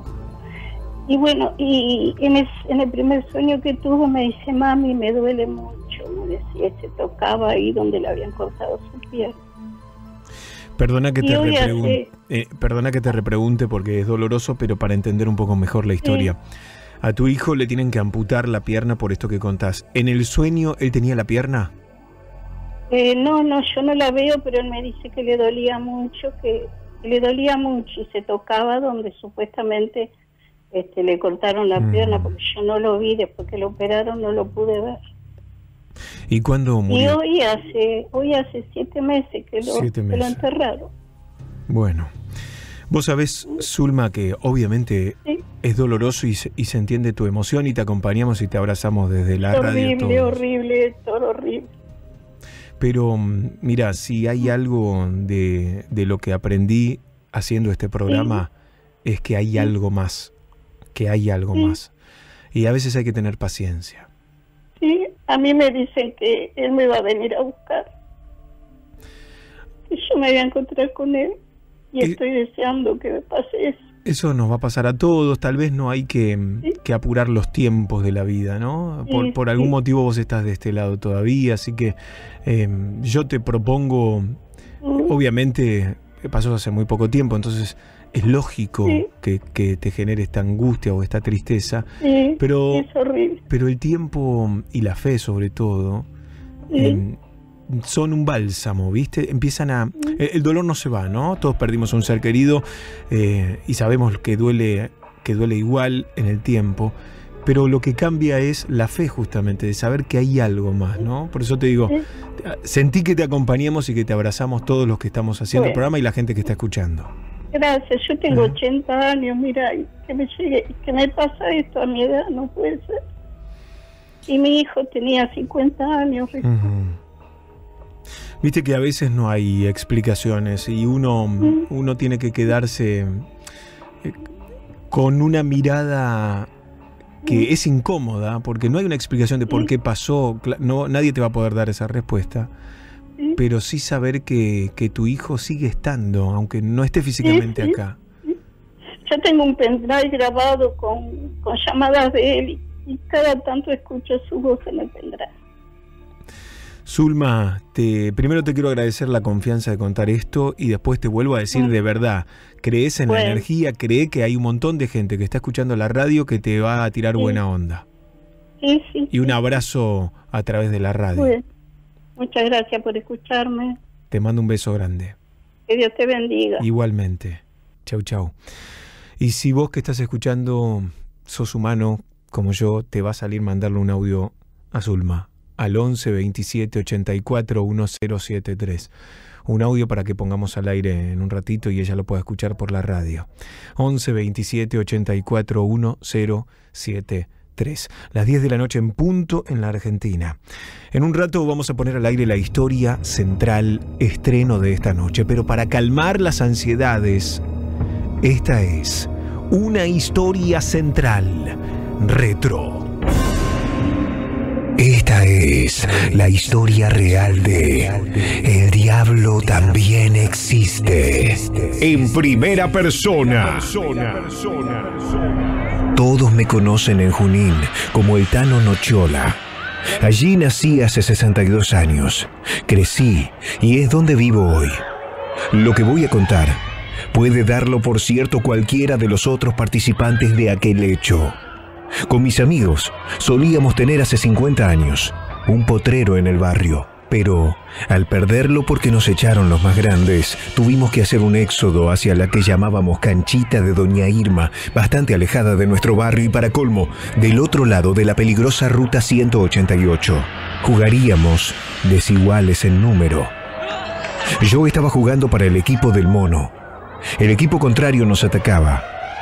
Beto, que siempre fue medio bruto, sacó la pelota del área de un patadón y terminó en la entrada del rancho de Doña Irma. No me equivoco si los once gritamos ¡Uh! cuando vimos dónde cayó la pelota. El rancho no tenía puerta, nada más una cortina hecha con bolsas de arpillera. El balón traspasó lentamente la cortina y quedó adentro del rancho, tan a la vista que podíamos ver su redondez, marcando la arpillera. Todos conocíamos a doña Irma. Era una mujer bien de campo, malhumorada y mal hablada. Se contaban cosas bravas de ella. Decían que había noqueado a un gaucho, que se la daba de guapo, que debía una muerte. Y los más maledicentes, que además no le esquivaba a la brujería. Nosotros, para colmo, no solamente le teníamos miedo por eso.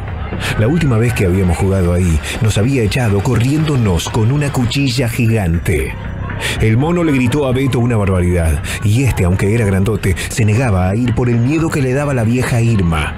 Nadie se animaba a ir a buscar la pelota, hasta que Reynoso boconeó diciendo que no le tenía miedo a la doña. Llegó hasta unos centímetros de la arpillera y retrocedió unos pasos. El huevo, otro de nuestros compañeros, le gritó que era un cagón.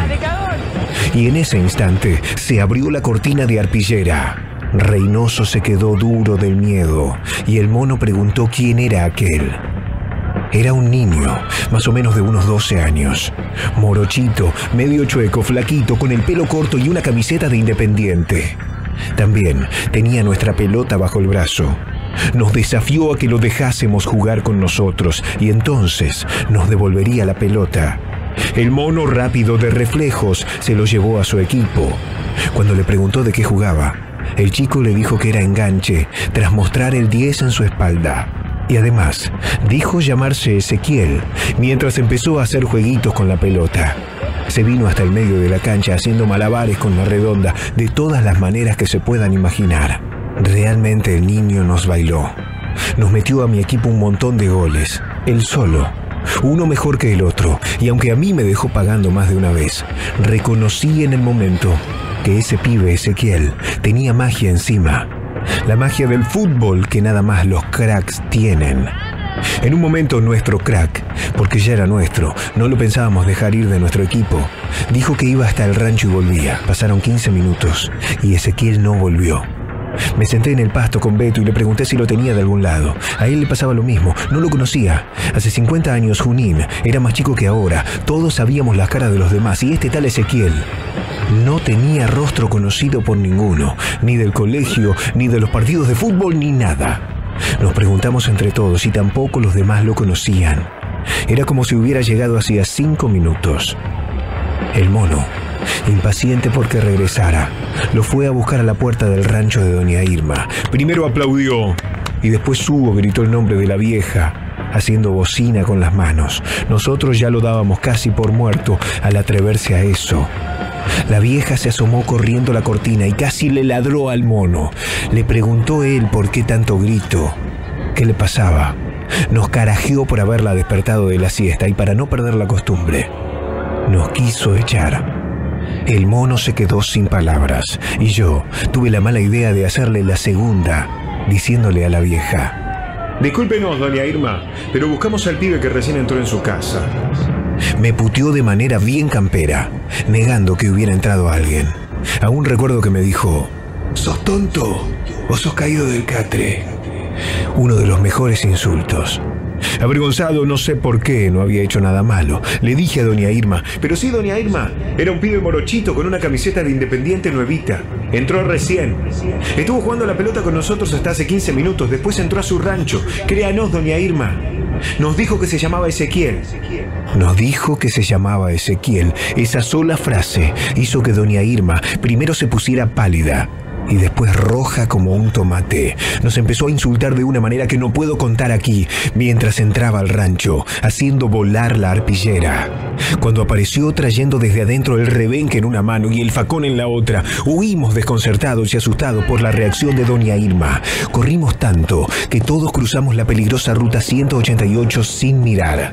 Llegamos a nuestro barrio más asustados que agitados. Estábamos más preocupados en cómo ubicar a Ezequiel para los siguientes partidos, sin caer en lo de la vieja loca esa, que casi nos mata. Nadie tenía idea de dónde ubicarlo, aunque fuésemos pocos en ese entonces. Estábamos por llegar a nuestro anterior potrero, del que nos habían echado los más grandes, cuando nos cruzamos con la doña Gervasia, la principal vieja chusma del barrio. El mono entonces me dijo por qué no le preguntaba si sabía algo de doña Irma, a ver si le sacaba información sobre Ezequiel, ya que yo era su ahijado. Corrí hasta donde estaba ella, mientras los chicos venían caminando despacio atrás mío, aunque alcanzaron a escuchar todo claro. Y ellos son fieles testigos. Hola, madrina. ¿Vos conocés a doña Irma? Está medio loca la vieja, ¿no? Le dije inocentemente, y Gervasia, como buena chusma, nos empezó a contar. Sí, Tanito. Aquí todo el mundo sabe que se volvió loca después de que se murió su hijito. Pero hace como 15 años de eso. Ustedes ni habían nacido. Aunque era más o menos de la edad de ustedes, 11 o 12 años tendría, cuando volvía a su rancho desde nuestro barrio, después de jugar al fútbol, y al cruzar la ruta 188, lo mató un camión. Dicen que jugaba muy bien al fútbol, que era un crack. Pobrecito. Hasta tenía la camiseta de fútbol puesta cuando dio su último aliento. Cuando le pregunté de qué club era la camiseta, ella no recordaba, pero cuando le sugerí si era roja, se le agrandaron los ojos y me lo aseguró por la Virgen de Luján. Ella siguió su camino y con los pibes nos quedamos mirándonos entre todos, sin saber qué hacer o decir. Cada uno de nosotros se fue a su casa. Días después tuve que ir a visitar a una tía a dos cuadras de lo de la vieja Irma. Cuando estaba pasando por el campito de al lado del rancho, lo vi a Ezequiel haciendo jueguitos donde habíamos jugado al fútbol. Cuando lo fui a encarar, el pibe se fue corriendo al rancho. A lo que vi en ese momento, no me lo quito jamás de la cabeza. Justo salía doña Irma, quitando de lado la bolsa de arpillera que hacía de puerta. Cuando lo vio a Ezequiel, el fantasma de ese pibe muerto, encarando hacia el rancho, se cayó seca y se murió de un infarto. Desde el rancho, el pibe reía con sorna y se metió más profundo dentro. Yo me di vuelta para irme, pero me quedé quieto.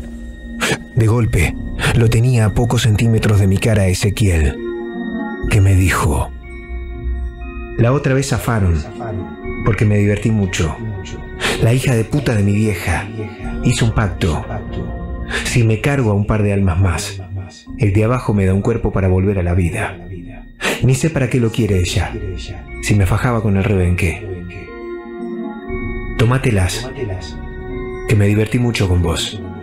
No te quiero dejar seco acá, como a mi vieja. Vos te portaste bien, pero ella no. Pero si podés, mándame a alguien que necesito volver a la vida. Dos meses después, Beto Gutiérrez, el que había mandado la pelota dentro del rancho el día del picado con Ezequiel, falleció en el campito de al lado del rancho por un infarto, aunque nunca le habían detectado ninguna enfermedad cardíaca. Se dice que alguno lo vio a Ezequiel jugando al fútbol en algún equipo del ascenso con otro nombre. Pero yo sí sé quién fue, dónde jugó y no lo diré. Él me salvó la vida. Se preguntarán cómo estoy tan seguro. Por cuestiones de la vida, tuve la oportunidad de estar frente a esa persona que me miró fijamente a los ojos, me tomó de las dos muñecas y me dijo, me acuerdo de vos y te voy a estar eternamente agradecido, pero igual, faltó un alma más. Me dijo, lo recordé hasta el día de hoy y ya pasaron varios meses. Decidí escribir esta carta para que alguien sepa esta historia. Si algo malo me llegara a ocurrir. El Tano era mi papá, Héctor. El Tano era fanático del programa de ustedes. Siempre me decía que había que creer en el diablo, que él lo había tenido frente a frente. Estuvo internado estos últimos meses y murió por un problema respiratorio. El día anterior a su muerte, ya entubado, pidió una lapicera y escribió en un papel que buscara la carta de la mesita de luz. En ese momento no le dimos mucha bolilla. Sin embargo, después de fallecer y mientras desarmábamos su casa, yo encontré el papel de la mesita de luz. Era una hoja cuadriculada, a cuatro, arrancada de un cuaderno, escrita con lapicera azul, titulada El Diablo también existe. Y es esta historia que termino de transcribir en este mail y les envío a ustedes para que la cuenten por radio. Porque como dijo mi papá, el diablo también existe. Esta historia, es real. Real, real, real. Un error nuestro, es la vida después de la vida, básicamente. Y que no tenga duda que su hijo eh, va a estar con ella en el momento que tenga que, que estar ella con él también. Y, y, que los tiempos son los que destina Dios. Así que todo mi fuerza y mi abrazo para la señora por lo que le pasó al hijo Martín de Jujuy. Hola Héctor, hola gente de, de, la noche paranormal. Este es un audio para Zulma. Mucha fuerza, mucha fuerza en este momento tan, tan difícil y le abrazamos. Desde acá, desde la gente seguro, desde la radio también, le mandamos un, un abrazo enorme. Fuerza. Buenas noches, tras noche, soy Daniel. Mucha fuerza, Zulma. Mucha paz para tu corazón y tu alma. Y Dios está con vos y con tu hijo, seguramente. Y está muy bien. Mucha paz, Zulma. Buenas noches, Héctor, eh, Mona. Bueno, quería mandarle un abrazo grandísimo, grandísimo a, Zulma, acompañarla en, su dolor. Eh, yo hace poco perdí a mi mamá también de repente y sí, la escucho, escucho su sonrisa, siento su aroma y es difícil. Uno no supera, se acostumbra a vivir con el dolor. Pero bueno, por algo eh, pasan las cosas. Dios seguro que nos tiene preparado a cada uno un propósito. Y le mando un, un fuerte abrazo fuerte abrazo y, y fuerza, Zulma. Buenas noches, Héctor, Mona, equipazo, son unos genios. Este es un mensaje para Zulma que la verdad eh, es una historia muy conmovedora. Ya lo va a poder ver a su hijo. Eh, mi nombre es Miguel, yo perdí a mis viejos y después de casi cinco años eh, todavía los, los siento y los veo como si estuvieran al lado mío. Y decirle que siempre, siempre la luz del Todopoderoso la va a acompañar y va a hacer que lo pueda ver al hijo y que se sienta cada vez con más fuerzas. Que no baje los brazos. Siempre hay una, una luz de esperanza y que es lo último que se pierde. Y Dios siempre la va a bendecir en su camino y la va a iluminar. Hola, buenas noches Héctor. Te felicito por tu programa. Quiero decirte que te escuchamos toda la noche con mi marido y yo y bueno, estamos admirados de la gran persona que sos y se nota que tenés un gran corazón y estaba escuchando como le hablaste a Zulma. Y sí, sí, tal cual lo peor debe ser perder sobre todo a un hijo y bueno, que espero que Zulma escuche y que, que su hijo la va a cuidar desde arriba y siempre va a estar junto a ella. Y sí, es muy doloroso seguramente perder un hijo, pero le mandamos un abrazo principalmente del gran, gran saludo que le diste vos y le, le mandamos un fuerte abrazo desde acá. Y aguante eh, la noche paranormal para el Martín Fierro y te escuchamos siempre, sos un genio y está re buena la radio. Todas las noches, a las 8 de la noche, a escuchar la noche paranormal. Y bueno, saludo a la mona, que es muy bonita y bueno, y vos sos un genio. Saludo, te escuchamos siempre. 11 27 84 10 73. Hola Zulma, mi nombre es Silvio. Eh, te mando un abrazo muy grande. Sé que estás pasando un momento muy doloroso, pero bueno, eh, se van a unir en algún momento en un lugar muy hermoso, porque se te nota en tu voz que sos una persona eh, muy amable, muy hermosa. Y bueno, eh, si yo bien no soy una persona muy creyente, pero el, es el dolor de enterrar a un hijo es terrible. Así que bueno, eh, te mando eh, un abrazo enorme, enorme, enorme y que se apacigue todo tu dolor. Te mando un abrazo, Silvio. Hola Héctor, buenas noches, me llamo Nicolás. Bueno, respecto a esta señora, la verdad que sí, es angustiante, pobre. Pero le tengo una anécdota que quizás le pueda levantar un poquito el ánimo. Yo también perdí un amigo muy querido, eh, la verdad que muy joven se fue y se despidió de una manera con un sueño que yo tuve, donde él apareció y estábamos todos eh, como un montón de personas corriendo en una misma dirección en una calle llena de casas alrededor hermosas y estábamos todos corriendo en una misma dirección. Hacia un lugar corriendo no, no sé qué estábamos corriendo que estábamos buscando pero todos corríamos hacia una misma dirección un montón de personas yo incluido. Miro hacia un costado me paro, dejo de correr y estaba él, mi amigo que falleció, como en un pórtico de una casa. Él estaba sentado, fumándose un pucho y con cara triste me mira y me dice, yo me quedo acá, vos seguí corriendo, seguí, seguí. Y fue como que bueno, yo seguí corriendo y veía como corría y miraba para atrás y él se quedaba ahí sentado. Fue como una señal como diciendo, bueno, a mí me toca quedarme acá, pero vos seguí, ¿entendés? No pares. Eh, creo que es un lindo mensaje el que me dejó, viste, que como diciendo, bueno, me tocó estar acá, pero vos seguí. Entonces, bueno, a veces uno en la vida tiene que seguir y darle para adelante y yo creo que las personas que se fueron no nos quieren ver mal, sino que sigamos con nuestras vidas, ¿no? Así que bueno, nada, te dejo un abrazo, Héctor. Gracias a todos ustedes por los mensajes a Zulma a las 10 y 21 minutos. Cada vez me siento más orgulloso de hacer este programa porque la noche paranormal te permite todo.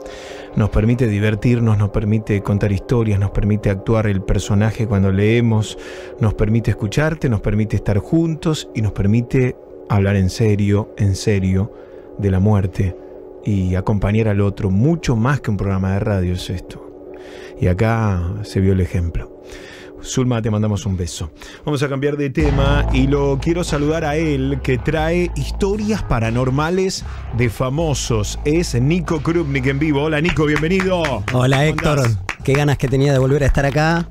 Y me gusta esto de traer historias de famosos. ¿eh? A mí también, porque vos sos famoso, porque tenés un... Capaz que la gente que está escuchando no se acuerda bien de tu cara o no asocia tu nombre a tu participación, pero vos saliste de combate. Yo estuve en combate, sí, en dos temporadas. Ahora ya pasaron unos cuantos años de eso y es cierto lo que decís. Algunos se han olvidado, pero bueno, ahora de a poco estamos reivindicando acá estando en la pop. Pero como tiene que ser, y sos amigo de este chico Locho, que es el ganador del, del reality, uno de los. No sé si ganó, no ganó, no, él quién ganó. Finalmente terminó No. ganándolo Pero Alex Canigia. Ganador moral, podemos decir, es este chico sí, Locho. sí. Le dicen el ganador del pueblo, pues se ganó al público y eso es súper importante. No lo veía el programa porque estaba haciendo este yo, si no lo hubiera visto. Pero oíme, del 8 y de todos estos eh, chicos y chicas que salieron del- de los combates, de los realities, ¿tenés contacto con muchos? Con varios, sí, tengo varios amigos que me han quedado de la época de combate.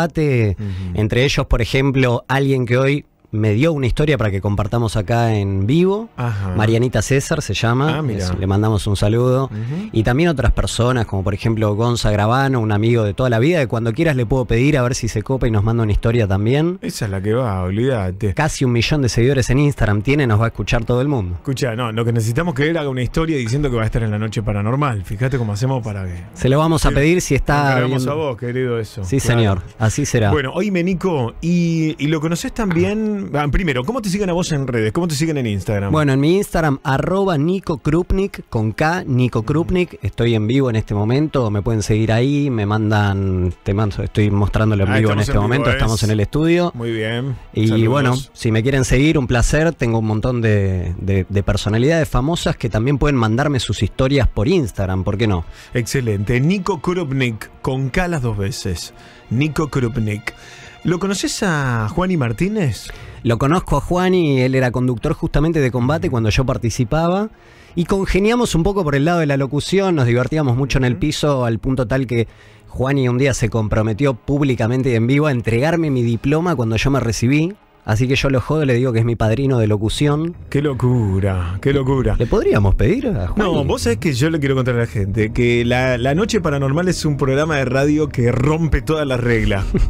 Ya rompimos varias reglas invitando a compañeros de otras radios de nuestro grupo, como Mega, como Radio 10, que estaban al aire a que vinieran a contar sus historias a la noche paranormal de la pop. Pero ahora damos un paso más.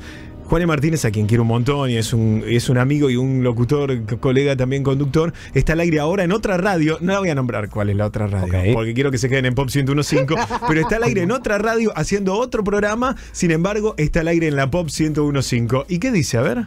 Qué lindos que son, boludos. Qué lindos que son. Eh, ¿Sabes que no tengo historia paranormal? No tengo. Sí, una amiga mía eh, me contó que, que fue a. O sea, en, en el cuarto de una. de la, la abuela de ella. eh, hay dos camas, ¿no? Entonces siempre la abuela dormía en una. La abuela viva, ¿eh? Pero después dejó de usar ese cuarto la abuela, se echó la bola.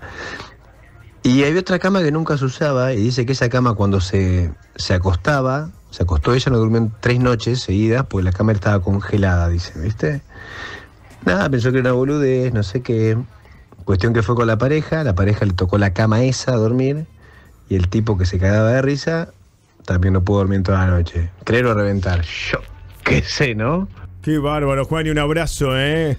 Bueno, buena historia, está al aire en los 40 principales. Le mandamos un abrazo a los colegas que están al aire. También estamos todos trabajando, ¿eh? Estamos todos trabajando. Y además los nombramos por dos motivos. Primero, porque lo queremos un montón a Juani, y después porque nosotros estamos arriba, así que por eso no tenemos ningún problema. Si no, no, no los hubiéramos nombrado, te digo la verdad.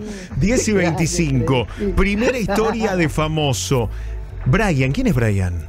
Bueno, Brian Lancelota es un muy reconocido cantante y cantautor también, principalmente de cumbia. Seguramente mucha de la gente que escucha La Noche Paranormal debe saber de quién le estamos hablando. Él fue participante de Gran Hermano en 2015, participante que aparte tuvo su polémica. Bueno, de esto la Mona seguro sabe mucho más que yo, pero lo que quiero sí destacar que si bien él se hizo conocido, muy popular a través de haber estado en Gran Hermano, él siempre fue su fuerte la música. Brian actualmente sigue haciendo música, hace cualquier cantidad de shows, no solo en escena pública, sino también en boliches, eventos privados. Yo lo he visto a Brian tocar en un boliche. Mira. Y debo decir que la rompe, aparte es muy copado, se copó al instante de contarnos su relato. Estos 32 años ha estado mucho en programas de televisión, por ejemplo. Y curiosamente esta primera historia que él nos cuenta le sucedió en uno de esos programas de televisión. Si el público recuerda, Brian participó en el reality Cantando 2020, donde fue eh, llegó a la, a la final. Fue subcampeón Brian, estuvo con Ángela Leiva. Y bueno, hubo una, un episodio, un capítulo de ese reality donde le tocó encarnar Héctor nada más ni nada menos que ponerse en la piel del potro Rodrigo. Qué fuerte, ¿no? Claro. Y bueno, la historia que él nos compartió tiene que ver con algo que le pasó ese día y que está directamente relacionado con la presencia del potro, o por lo menos de la manera en que él lo cuenta, lo sintió así. Lo podemos compartir cuando quieras. Bueno, esto fue en el año 2020. eh, yo era participante del Cantando 2020 en plena pandemia. Y me acuerdo que en una de las galas me tocaba cantar eh, un tema de Rodrigo, me tocaba la gala de cuarteto. Y me tenía que personificar, pintar el pelo como Rodrigo. Y bueno, era una- un tema muy lindo de Rodrigo que tenía que cantar. Y cuestión que estoy en el camarín preparándome esto, creo, con mi termo, mi mate. Bueno, destapo el mate y la tapa del termo la apoyo arriba de la mesa. En un momento veo que la tapa se empieza a mover. Entonces yo lo primero que hago pego un salto, me pego un julepe bárbaro, agarro la tapa, la vuelvo a poner y no hacía nada. La tapé, la volví a sacar y empecé a grabar. Cuando apoyo, estuve un rato quieta y al, no sé, a los 10 segundos se empieza a mover otra vez. Están las grabaciones, está en YouTube. O sea, fue rarísimo. Ya eso ya es raro. Agarré mi mate, mis cosas y me fui del camarín. Esa noche no volví a subir. Cuestión que esa misma noche viene la última novia de Rodrigo a la gala del cantando y me trae la camisa del potro, que el potro había usado en uno de sus shows para que yo la use. Me pongo esa camisa y cuando me voy a sentar en la banqueta del buffet que estaba ahí, me caigo. Me caigo de la banqueta. No había nadie que me haya empujado, nadie, nada. Me, me senté y me caí. Como si alguien me hubiese corrido la, la- la banqueta o algo, pero no había nadie atrás mío. Así que nada, creo que fueron energía. Igual yo de eso me nutrí esa noche, me, fui, me fue genial. Creo que me, me, me redestaqué, así que nada, lo tomé como que yo, a mí, en, en mi cabeza, sentí que la presencia del potro estaba ahí conmigo, así que nada, es una experiencia paranormal de las lindas. Así que nada, eh, buenísima la radio, un saludo grande para Héctor, la Mona y Nico y a toda la gente de la, de la Pop. Gracias, 101. Brian, querido. Abrazo. Buena Chau. historia, loco. Primera historia de famosos paranormales. Y tenés una segunda, un bonus track. ¿Cómo lo siguen a Brian en redes? Bueno, ¿Tenés ahí el Instagram? Sí, cómo no, Héctor. A Brian lo pueden seguir en arroba Brian con Y, oficial, ok con doble K. Ahí incluso él dijo que va a poner un link a YouTube donde se puede ver esto que recién acaba de contar. Excelente, excelente. Cerramos con un actor cómico, bueno, también es eh, dramático, un crack, Nico Máquez. Un verdadero crack, Héctor, que aparte de actuar también canta, produce, dirige. Nico, que tiene 41 años, aunque no lo parezca, y nos ha compartido una historia que para él tiene un tinte familiar, está cargada de un espectro familiar que es muy significativo. Y de hecho, te digo, él nos asegura que se trata de un episodio que jamás había compartido antes con nadie. O sea, es una historia que trae en exclusiva para nosotros acá en la Noche Paranormal, así que le queremos agradecer también. Y está muy bueno el relato, si te parece lo escuchamos. Bueno, la verdad es que me pasaron muchas cosas muy locas en mi vida, bastante mágicas, muchas de ellas, pero paranormales solamente una, que nunca la conté, que la voy a contar ahora, especialmente para ustedes. Yo tengo dos cuadros en una pared, que es la pared que divide el baño del living, En esa pared está un cuadro que hizo mi abuelastro, vamos a decir, el segundo marido de mi abuela, y mi tía, que es la hija de este hombre, de mi abuelastro. Está del lado izquierdo, o sea, si yo me pongo mirando la pared, a mi izquierda está el de mi abuelastro y, qué palabra rara, ¿no? Abuelastro. Y a mi derecha el de mi tía. Resulta que un día entro a mi casa y los cuadros no estaban así, sino que estaban invertidos. Yo en ningún momento descolgué los cuadros, no vino nadie a mi casa, nadie tiene las llaves de mi casa, no hay forma de que yo haya estado sonámbulo porque no estaba en mi casa. Yo me retiré de mi casa con los cuadros como siempre y cuando vuelvo los cuadros estaban invertidos. Desde ese momento quedaron así, yo no los toqué, hasta el día de hoy siguen invertidos, porque traté como de creerle a lo paranormal, creerle a la energía, a lo que corno concha sea que haya aparecido y que haya cambiado los cuadros de posición. No lo sé. Eso pasó. Eso ocurrió. Es creer o reventar y prefiero creer. Bueno, un beso muy grande a Héctor, la mona, a Nico y a todos, todos los oyentes. Les mando un beso muy, pero muy grande. Sean felices. Gracias, y Nico, dejen querido. los cuadros Uh. como sus entes los coloquen. Nico Máiquez en vivo. Le vamos a pedir que suba la foto de los cuadros, ¿no? Se lo vamos a pedir a ver si la sube entre hoy y mañana y la gente puede entrar a fijarse qué es esto que sucedió en su casa. Dios mío. Nico, ¿te siguen en Instagram? ¿Cómo te encuentran? Arroba Nico Krupnik las dos veces con K. Nico Krupnik. Gracias por venir, ¿eh? Gracias a vos, Héctor. Quédense con nosotros. Historia central, estreno en el aire.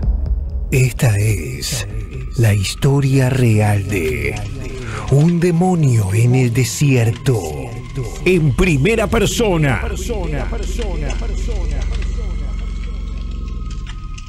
Soy de Córdoba.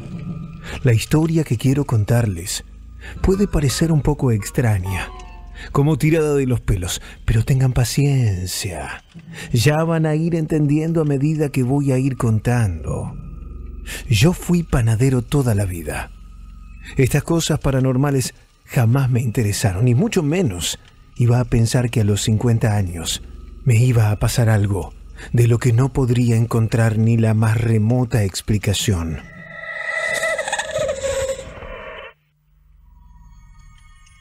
Todo comenzó cuando me divorcié. No teníamos hijos, así que acordamos poner la casa en alquiler y cada uno fue por su lado. Yo alquilé algo cerca de mi trabajo. Un departamento tipo dúplex, con un entrepiso y una escalerita de madera para subir allí. Podía permitirme algo mejor, pero siempre fui más austero. Lo primero que noté es que al subir al entrepiso se me iba un poco el aire. Primero pensé que sería por subir las escaleras rápido. Tengo unos kilos de más. Pero había algo ahí arriba, algo raro. Me acuerdo que una noche me desperté agitado, como si hubiese estado corriendo. Otra noche hacía como 30 grados. Justo se había cortado la luz, así que me destapé y dormí en calzoncillos. Me levanté temblando de frío y vi una silla donde yo ponía la ropa tumbada, que estaba en el suelo. Realmente me estaba costando conciliar el sueño. Saqué turno con un amigo que es doctor. Me dijo que todo podía ser producto del estrés post-divorcio. Me recetó unas pastillas para dormir. ¿Para qué voy a mentirles? Realmente dormí como un bebé. Pero ahí fue que comenzaron los sueños raros. Eran como una película de fantasía y fueron varios, consecutivos, donde yo caminaba por un desierto. En el último sueño llegué hasta una zona donde había un árbol seco. Recostado contra el árbol estaba este personaje, un tipo de traje, un traje elegante color azul y sombrero, pero sin cara. Yo me acuerdo que le extendía a este tipo una hogaza de pan y vi que él Se levantó y extendía sus manos hacia el árbol. No llegué a ver qué sacó de allí, pero sí me acuerdo que me desperté de golpe y sentí la boca húmeda, como si hubiese terminado de comer algo. No volví a soñar, pero al otro día pasó algo. Mi patrón con el que yo venía trabajando hacía más de 15 años me llamó a su oficina. Muy serio me comentó que se venía guardando algo. Una enfermedad terminal. Había pensado en cerrar todo ya que sus hijos estaban lejos en el exterior como para venir y hacerse cargo de la panadería. Pero entonces me dijo que había pensado en mí, un empleado fiel, y así dejarme a cargo. Por supuesto le dije que sí. A los pocos meses, mi patrón falleció. Yo pasé a ser el dueño de la panadería. Mi vida mejoró mucho, pero como dije antes, siempre fui austero. Seguí nomás, alquilando en ese lugar humilde. Lo que no mejoró fue eso que pasaba en el entrepiso, esa sensación extraña de que algo no estaba bien. Me acuerdo que una noche salí a un bar. Conocí a una chica, salimos de allí. Subimos a mi auto recién comprado y fuimos a mi casa. Me acuerdo que ella se sorprendió al ver donde yo vivía. Supongo que esperaba una casa más grande. Pero eso no importó. Subimos hasta el entrepiso, donde estaba mi cama, para hacer lo que estábamos buscando. En medio de la noche, ella se despertó varias veces. Decía que le tocaban el pelo, que sentía a alguien mirándola. Yo pensé que estaba tomada nomás. Le dije que volviera a dormir. Durante la madrugada escuché un golpazo. Me desperté y ella no estaba a mi lado. Salí de la cama y miré a la planta baja. Ella estaba allí, tendida, inconsciente. Rápidamente llamé a una ambulancia. La llevaron a urgencias y le hicieron dos puntos en la cabeza. Cuando despertó, alegaba sentir que yo la había empujado. Me comí una denuncia. Por suerte no pasó a mayores y pude demostrar mi inocencia ya que ella tenía porcentajes de alcohol en sangre y no presentaba otros signos de violencia. Me acuerdo de otra escena particularmente macabra. Yo tenía que charlar con mi mujer cuestiones del alquiler. La invité a mi casa. Recuerdo que me preguntó si estaba solo. Yo le dije que sí. No estaba para invitarle y que viera otra mujer. Eso es faltar el respeto. Me acuerdo que le dije que pase, que se sentara en la cocina. Yo me quedé afuera, revisando las boletas de la luz. Al rato salió ella enojada. Me decía que era un mentiroso, que había escuchado a alguien moverse en la cama del entrepiso. Yo intenté decirle que se calmara, que no había nadie. Ella estaba caminando enojada, quiso cruzar la calle, no miró bien. Y una moto que pasaba justo la atropelló. Se salvó de milagro. Yo me acuerdo que hasta la noche estuve con ella en el hospital para ver su estado. Solo tenía raspones. Cuando regresé a mi casa por la noche, vi algo espeluznante. Mi cama estaba corrida y el colchón salido del lugar. Eso ya me dio mala espina. Hablé con amigos y me recomendaron bendecir la casa. Así lo hice. Me acuerdo que llevé a un cura y todo.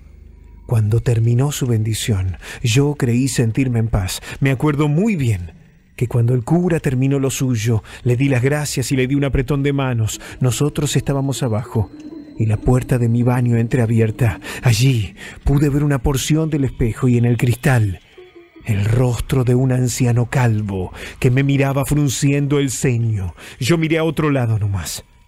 Esa misma noche tuve otra pesadilla. Era el mismo desierto. A los pies del árbol yacía el cadáver del tipo de traje. En las manos esqueléticas tenía el pan que yo le había dado antes. Estaba enmohecido. Vi que se agrietaba y de allí comenzaba a brotar sangre. Me desperté llorando y mi teléfono empezó a sonar. Una voz preguntaba si yo era el propietario del negocio. Señor, me comunico desde la comisaría 14. Hubo un ingreso a su negocio y otros percances que debemos hablar en persona. Me levanté y fui con lo que tenía puesto. Me habían reventado el negocio. Me sacaron un montón de dinero, computadoras y otros elementos. Los vidrios estaban rotos, los estantes en el suelo, pero yo lo que más me preguntaba era sobre la sangre en el piso. Me comentaron que los ladrones eran dos pibes. Al parecer discutieron por el dinero y uno fusiló al otro de un tiro. El asesino se escapó en un auto con la guita y las cosas. Ya era demasiado quedarme sin el negocio. No solo debía esperar semanas el peritaje por un asesinato. Después, iba a tener que volver a poner todo en orden. En ese lapso, que duró un mes y medio, prácticamente yo no salí de mi casa. La bendición del cura solo fue para peor. Lo que moraba allí ahora estaba furioso. Las cosas volaban para todos lados. Más de una vez yo mismo me caí de la cama y casi que fui a parar a la planta baja. Pude entender que era ese viejo que aparecía en los espejos. Cuando pude reabrir el negocio, las cosas tampoco mejoraron. Algunos empleados renunciaron, clientes dejaron de venir, no tuve más opción que cerrar definitivamente. Me comuniqué con los hijos de mi ex patrón, esos que vivían en el exterior. Ellos me dijeron que no me preocupara, que el dinero no les hacía falta, su padre les había hablado bien de mí. Cuando vendí todo, me busqué un lugar mejor. Y las cosas mejoraron de a poco, ¿eh? Me acuerdo que una vez le conté esta experiencia a un amigo, ese que me recomendó este programa. Él me dijo lo siguiente. Tuviste suerte, hermano. Se ve que en esa casa... Yo me quedé de piedra. No entendía nada de estas cosas, pero sí me di cuenta que al estar lejos de la casa comencé a sentirme mucho mejor. Hoy en día trabajo como empleado en otro lugar. Me mudé, pero antes me aseguré de averiguar que nadie haya vivido antes ahí. Busqué algo nuevo. No quiero volver a soñar y encontrarme con un demonio en el desierto. Esta historia es real. Historias reales, contadas en primera persona. La noche paranormal.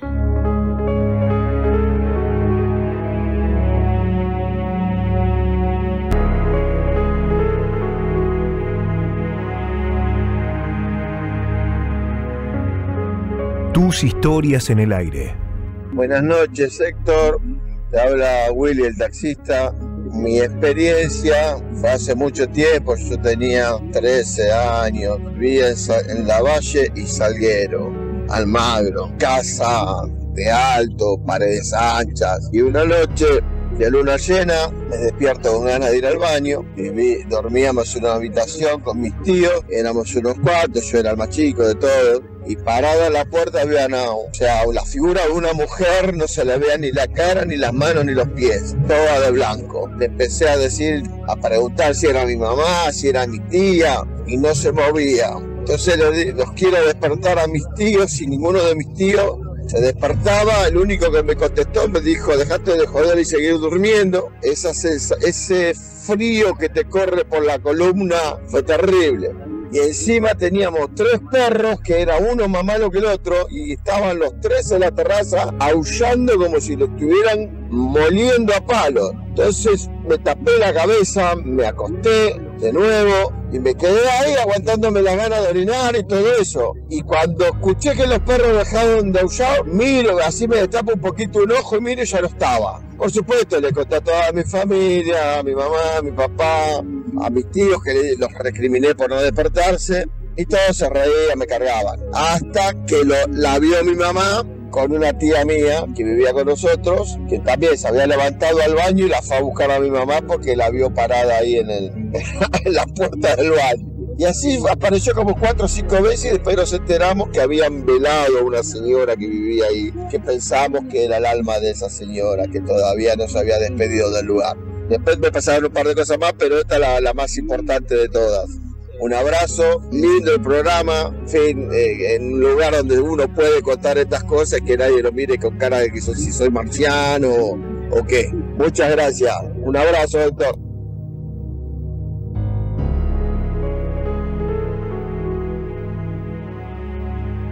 Historias reales, contadas en primera persona. La noche paranormal.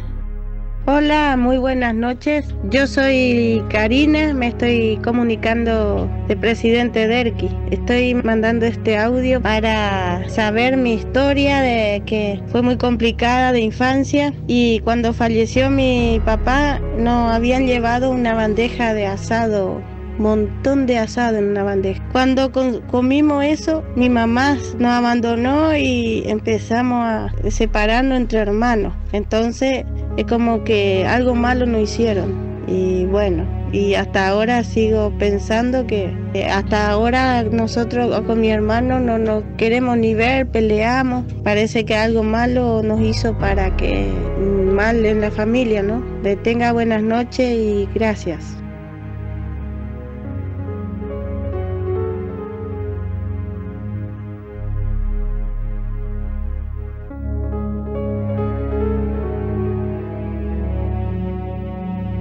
Una más, dale. Hola Héctor, buenas noches. Mira, mi historia paranormal es, las personas que se las he contado no me creen. Mira, cuando era muchacho, cuando tenía unos 17 años, pues en la casa que vivíamos era pequeña, nosotros éramos seis y hacía unos calores tremendos acá en Ecuador, del, invierno, hace mucho calor por acá. Entonces yo acostumbraba a sacar el, el, colchón y me lo llevaba para la sala y me quedaba dormido ahí, para, porque estaba más fresco. Y un día me levanto pero o sea, me, despierto, pero no abro los ojos. ¿Por qué? Porque siento, pero así, claro, siento que alguien me tenía cogido del cuello. Tenía cogido el cuello, entonces, y la verdad que me asusté, no sabía qué hacer, si, si abrir los ojos, porque tenía miedo de que al abrir los ojos se encuentre alguien y de pronto sea un ladrón y de pronto me quiera hacer algo. Y la verdad que no sabía qué hacer, pero sentí así, clarito, las manos, las dos manos en mi cuello. Entonces comencé a rezar en ese momento y cuando pan me decido a, a ojos, yo dije, Dios mío, solamente tú me puedes eh, salvar de cualquier cosa. Cuando decido este, abrir los ojos, oye, aunque no me creas, en ese preciso momento que abro los ojos, siento un zumbido que ingresa por, por, por, mi, por mi boca, así, así, de esta manera, pero así, así, y sentí como ingresaba, y la verdad que siempre lo he contado y la verdad que no me creen. Unos amigos así en una reunión paranormal, este, eh, no paranormal, de así, de historias paranormales contando, me dijeron que puede ser de pronto el alma que regresa al cuerpo, o sea, la verdad que nunca, nunca he sabido de qué se trata, pero eso me pasó a mí. Saludos y bendiciones a, a todos ustedes.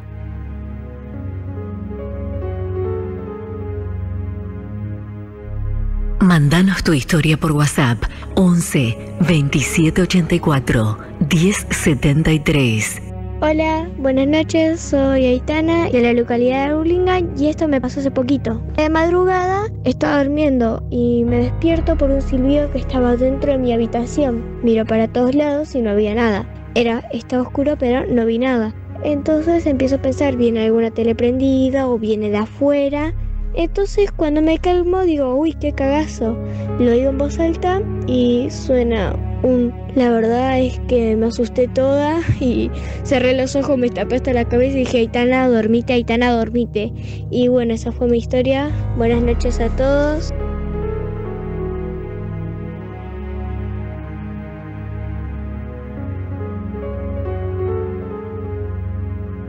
Sube el volumen porque hay más historias.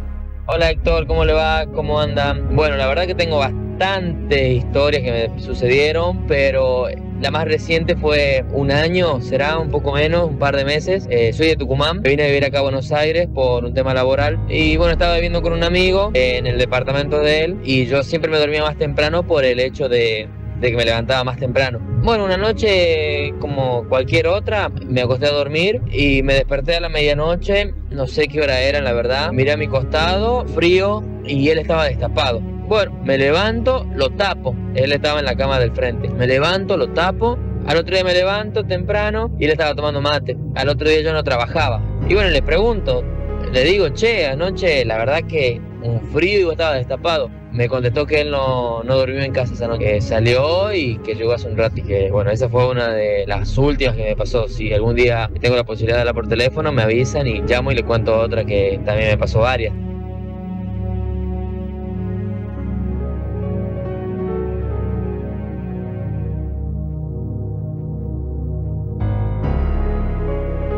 Hashtag de 2024 Pop Radio. Hola, eh, buenas noches, mi nombre es Juan, te quería contar una, una historia que me pasó, este, nos íbamos un día a trabajar en el auto con un compañero y teníamos un, que pasar a buscar un compañero que nosotros sabíamos que era de, de religión umbanda, ¿no? Y era un día feriado, bueno, justamente lo pasábamos a buscar porque como los días feriados él no tenía colectivo, lo- los íbamos en auto, trabajábamos la custodia y lo, lo íbamos a buscar. Y cuando llegamos a la casa de él, bueno, miramos por la ventana había unas luces media raras, y este, con mi otro compañero nos acercamos, abrimos la, la puerta y bueno, mi compañero, eh, el que es un banda, estaba como haciendo un ritual ahí en la casa de él ese día y como poseído y se escuchaban otras voces y estaba, estaba él solo, se escuchaban otras voces y otros gritos y con mi otro compañero te cerramos la puerta, no se dio cuenta que estábamos ahí, pero se lo notaba como poseído, tenía los ojos de, de un color o algo inexplicable y también este, algo que nos puso la, la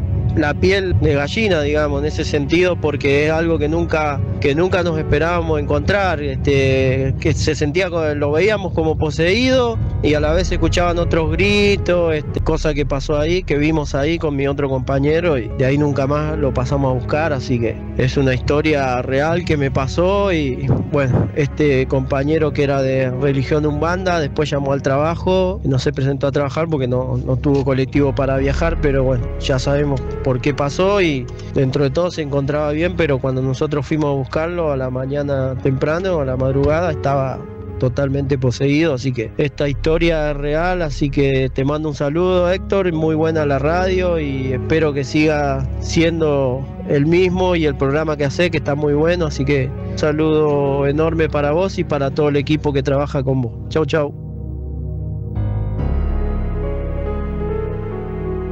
Tus historias en el aire, manda ya mismo un audio 11 27 84 1073. Buenas, vengo a contar una historia paranormal que no es mía, le pasó a mi mamá. Bueno, empiezo a contarla. La cosa es que ella estaba durmiendo y de repente tuvo como una parálisis del sueño. Ahí ella sintió que la estaban ahorcando y bueno, están cortitas, bueno. Y después salió afuera porque, bueno, la estaban ahorcando en su parálisis del sueño. No se podía mover, no podía hacer nada. Bueno, espero salir al aire.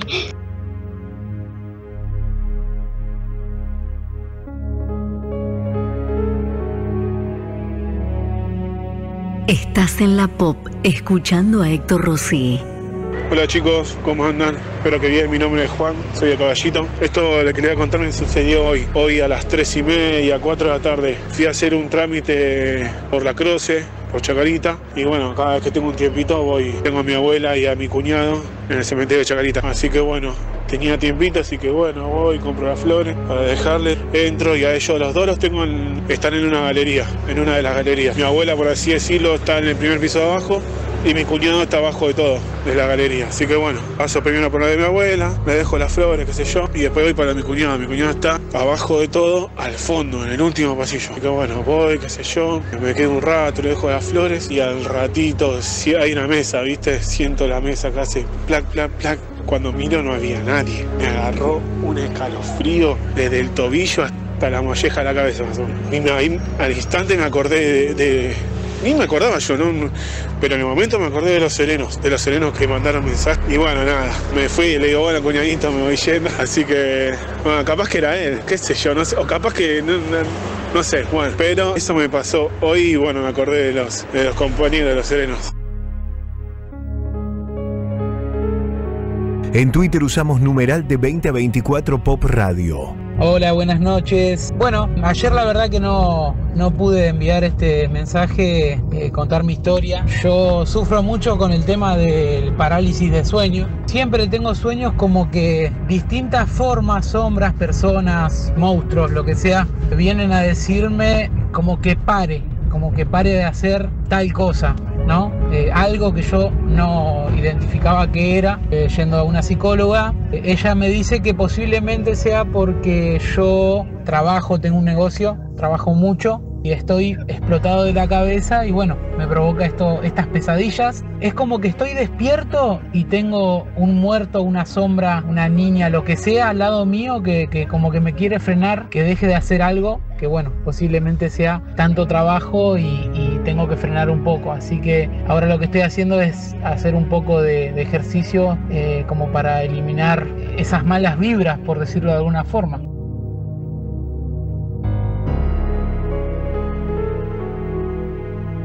Hasta la medianoche, escuchás a Héctor Rossi en la noche paranormal. ¿Cómo estás, Rosy? Buenas noches. Te cuento una historia breve ahí con, respecto a lo que había contado este muchacho del- de que estaba pescando. En el río Luján, unos amigos míos fueron a pescar y uno de ellos, mientras estaba armando la línea, una caja de vino al costado, un ciruja de ahí del lugar, un croto, los dedos así todo deformados como si fuera que tenía artritis deformante. Y le pide si le convidaba un poco de vino. Este muchacho le dijo que no, que se vaya. Lo trató mal, muy, muy mal. Y el croto, este croto le decía, no me trates mal, te estoy hablando bien. Si no me convidas cigarrillo, ahí veo que vos tenés cigarrillo. ¿Me convidas cigarrillo? No, no, no, no te convido nada. Tomátela de acá, andate, dale, dale. Fuera, volá de acá, le decía. Y el otro muchacho que estaba, no estaba muy alejado, estaba ahí nomás cerca. Te voltea para verlo al, al croto. No sé si era para burlarse o para decirle que se vaya también. Lo mira a los ojos y ve que los ojos los tiene amarillos. O sea, los ojos grandes y amarillos. Entonces, disimuladamente, este, se, va, se va yendo mientras el otro se con la cabeza agachada. Discutiendo, el croto le dice, bueno, no te preocupes que con vos está todo bien, no tengas miedo, le dice. Y ahí es donde el otro muchacho se da vuelta y lo mira y dice, ¿qué? ¿Por qué? ¿Qué vas a hacer conmigo? ¿Qué todo mal conmigo? Cuando lo ve a los ojos, ve eso, se queda duro. Ya para ese entonces el otro muchacho ya entró a correr con la bicicleta al costado y es donde después escucha el grito, este muchacho, se ve que esta, esta persona lo termina atacando. A la semana mi amigo le pregunta, estuvieron más de una semana sin, sin contactarse, sabía que había regresado a la casa, pero no se animó a preguntarle qué es lo que había pasado. Y le dice, no, se sacó a la final ese trapo que tenía en la cabeza, se lo saca y estaba en carne viva el tipo. Estaba en carne viva, me entró a correr por todo el campo, dejé la bicicleta, dejé la tanza, dejé todo, dejé todo y hasta que terminé de salir del campo, el tipo cuando me dio vuelta, el tipo quedó ahí parado, no me siguió más. Pero vos me dejaste tirado, bueno, te voy a dejar tirado si lo maltrataste. A mí me dijo que estaba todo bien, pero estaba todo mal con vos. Bueno, esa es la historia que te quería contar, Beto. Un abrazo.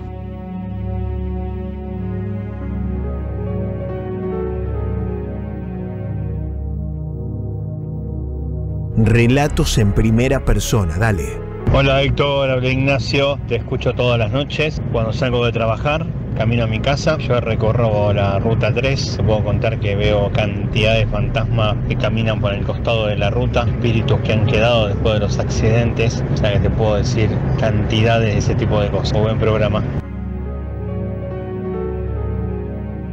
Voz en el aire, vos sos protagonista. Hola, buenas noches Héctor, soy Javi de Lanús. Esto pasó una vez cuando éramos chicos que salíamos a en bicicleta. Se hizo de noche y en una casa había un pino, estábamos andando en bicicleta y, y bajó una lechuza blanca. Que le decíamos la lechuza de la muerte, ¿no? La de los campanarios, esa blanca. Y bajó en un pino de una casa y nosotros le empezamos a tirar piedra para que se vaya, porque decían que si paran tu casa tres veces se moría alguien. Bueno, le empezamos a tirar piedra, bajamos las bici y todos los pies empezamos a tirar piedra, piedra. Sale la señora de la casa y agarra y le dijimos, uy, disculpe señora que tiramos piedra, disculpe, pero le, le- espantamos a la lechuza que paró ahí en el árbol, le digo. Y agarra y me dice, no, salí porque falleció mi marido recién, dice. Y ahí los pibes peor, empezamos a tirar piedra al árbol, todo hasta que la lechuza se fue. Bueno, gracias por pasar mis historias a la pop. Buenas noches. La vida al aire, según Héctor Rossi. La pop. En la noche de hoy vamos a hablar de horas, además. ¿Por qué la hora espejo sería un mensaje de los ángeles? Bueno, la hora espejo, así se le llama, agrupa momentos del tiempo y cada uno de esos instantes posee un significado diferente que puede sorprenderte. Desde hace algunos años se han interpretado diferentes tipos de situaciones que tienen que ver con los números y el ser humano y también, por ejemplo, las líneas del cuerpo, las líneas de la mano, hasta las horas que marcan tu día. Bueno, también pasa que alguno te dice, ¿cuántos años cumplís? Pedí un deseo porque los números son muy importantes. Y además te dicen, cuando las agujas del reloj marquen las 11:11, tiene que ver con que ha llegado un mensaje muy importante. Este tiempo es conocido como la hora mágica, que se repite en varios momentos del día. Para todos los creyentes, se dice que se tienen 24 oportunidades para ir recibiendo los distintos mensajes de los ángeles. Mensajes que tienen que ver con señales, que tienen que ver también con intentar estar más cerca de este mundo terrenal, dándonos algunas indicaciones o advirtiendo de algo malo.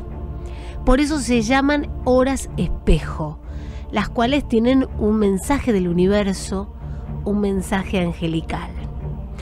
Algo que los expertos en la espiritualidad y astrología mencionan que por ahí no se debe tener algún tipo de miedo, ¿no? Porque es un lindo mensaje de amor, de protección, de cuidado. Entonces, ¿qué son las horas espejo? Son aquellas que se repiten después de los dos puntos, siendo las más conocidas. 11 y 11, 12 y 12, 20, 20, 0, 0. Solo los creyentes de este tipo de magia positiva, vamos a llamarle de alguna manera, indican que el destino nos ofrece 24 oportunidades en nuestro día para conectarnos con nosotros mismos y para generar vínculos que tienen que ver con los seres espirituales. Lindo mensaje de tu ángel de la guarda, que sabemos que nos acompaña, cada uno de nosotros tiene un ángel de la guarda que nos acompaña en todo momento y que de repente necesita conectarse con nosotros. Necesita darnos calma, necesita darnos fortaleza. ¿Y qué hacer vos de repente en este momento estás escuchando La Noche Paranormal? ¿Y qué hacer cuando ves una hora espejo? Las creencias dicen que estos tiempos se deben aprovechar al máximo para pedir un deseo, o para tomar energía para realizar aquello que deseamos con el fondo de nuestro corazón y que decís, quiero que se cumpla esto, bueno, es el momento de utilizarlo a nuestro favor. Otra interpretación indica que es un momento de plena conexión en torno con los seres celestiales y también una conexión con nuestros seres queridos que ya no están en este plano. Por ejemplo, si te toca la, alguna de las más famosas, las más conocidas, te vamos a dar hoy. ¿Qué significa la hora 00? Que muchas veces mirás y decís, ay, justo la 0 y 0. Es el momento de renacer, de reconectarte con vos mismo, de recuperar energía y además, viste cuando haces un chau fuera de Windows, apagás todo o en un reseteo, borrar todo lo malo que nos ocurrió ese día y el día anterior. ¿Qué significa 0101? Atención, significa que alguien está enamorado de vos, alguien te ama, alguien piensa en vos. Así que bueno, aquellos que este, están esperando el amor, en una de esas se les da. Y bueno, por supuesto están todos los horarios. 02 eh, para recobrar la confianza con uno mismo. 03 em, reflexionar y tener en cuenta quién puede llegar a hacernos daño. ¿Qué significa la hora 0404? Bueno, atención porque esto tiene que ver con la salud como prioridad. El momento de ocuparnos de nosotros, de nuestra salud y de estar muchísimo mejor. Bueno, ¿y cuál es la hora del amor? No me digan que esta pregunta no se la hicieron un montón de veces. Bueno, los que creen en estas horas mágicas, consideran a la hora del amor 0505 y tiene que ver con que alguien, un alma, un corazoncito está intentando conectar con vos para hacerte sentirte querido, protegido, amado. ¿Eh? Y más adelante, bueno, hay un montón de momentos con los que te vas a encontrar y te vas a conectar. La hora 0505, un amor muy cerca de ti, que te conoce bien, y que necesita que estés fuerte. ¿Qué significa la hora 0606? Sos indispensable para esa persona, pero también no debemos olvidar de hacer las cosas con, con, nosotros también, de no olvidarnos de nosotros mismos, ¿no? De ver por nosotros. La hora 0707 es la confirmación positiva de los ángeles. Ese deseo se va a hacer realidad. Viste que el 7 también es un número mágico con mucha mitología y demás. ¿Y qué significa la hora 0808? Bueno, confianza y cautela para alcanzar el triunfo. Y la hora 0909, buen tiempo para compartir con amigos y quienes nos rodean. Es hermoso todos los mensajes que hay detrás de todas estas horas, ¿eh? que es fabuloso porque cada una tiene un mensaje positivo y también porque nos puede hacer reencontrar con los ángeles. Eh, ustedes cada vez que está Caro este, Oliva en, nuestro programa, eh, se conectan mucho con los ángeles, así que es muy lindo, nos pareció muy lindo hablar de este tema hoy. Se puede interpretar como una persona a quien se suponen las cualidades propias de un espíritu angelical, es decir, bondad, belleza, inocencia, amor, pureza, plenitud. Por eso todas estas horas que te vamos diciendo, todos estos mensajes, traen un mensaje para tu amor, para tu protección y para tu cuidado. Entonces, ¿qué significa ver la hora espejo? Ver que cada número tiene un significado ¿eh? y este permite una conexión con el universo, con el destino, con el amor que está del otro lado a través de un ángel. Por eso son todos mensajes de amor, de meditación, de reflexión, de paciencia. Por eso es la hora espejo, este mensaje angelical. Quisiera con este tema tan lindo que tenemos hoy en la noche paranormal, que me digas si a vos te tocó conectarte con una hora espejo. Y si recordás qué hora era, ¿te habrá tocado, por ejemplo, 14 14? ¿Miraste y eran las 00? Bueno, me encantaría que nos cuentes cuál fue tu espejo, con qué momento de tu vida te conectó al 11 27 84 1073. Estás en la pop escuchando a Héctor Rossi. ¿Quién habla por teléfono en vivo? Hola, buenas noches. Hola, Fabián. Está- ¿Estás con la radio de fondo? Baja la radio, por favor. ¡Baja la radio! ¡Y escúchame por el teléfono, loco! Hacele caso a esta mujer que se pone muy mal. ¿Bajaste la radio? ¡Baja la radio! ¡Y escúchame por el teléfono, loco! Bueno, ¿me dijiste tu nombre? Fabián de Tablada. Fabián, bienvenido, te escuchamos, loco, escuchamos tu historia. Mira, una vez me pasó una situación muy rara. O sea, yo provengo de una familia que practica en un bandito. Una vuelta estaba acostado y sinceramente había llegado muy cansado de trabajar. Cuando de repente me empezó a sentir como que me ahogaban, como que me estaban ahorcando. O sea, yo quería hacer fuerza como para levantarme y no me podía levantar. Y la tenía a mi hermana durmiendo al lado. Y en ese momento se me apareció una imagen oscura en los pies de la cama, que no nació una seña que, que era chocante. O sea, como que yo he hecho, he hecho algo malo que nunca en mi vida lo hice. Y cuando pude pegar el grito, que le pegué el grito a mi hermana para que se despierte, la imagen hizo como un remolino y desapareció. La verdad, esa noche te puedo asegurar que no dormí en toda la noche. Vos dijiste, para que no te entendí bien, que habías hecho algo malo.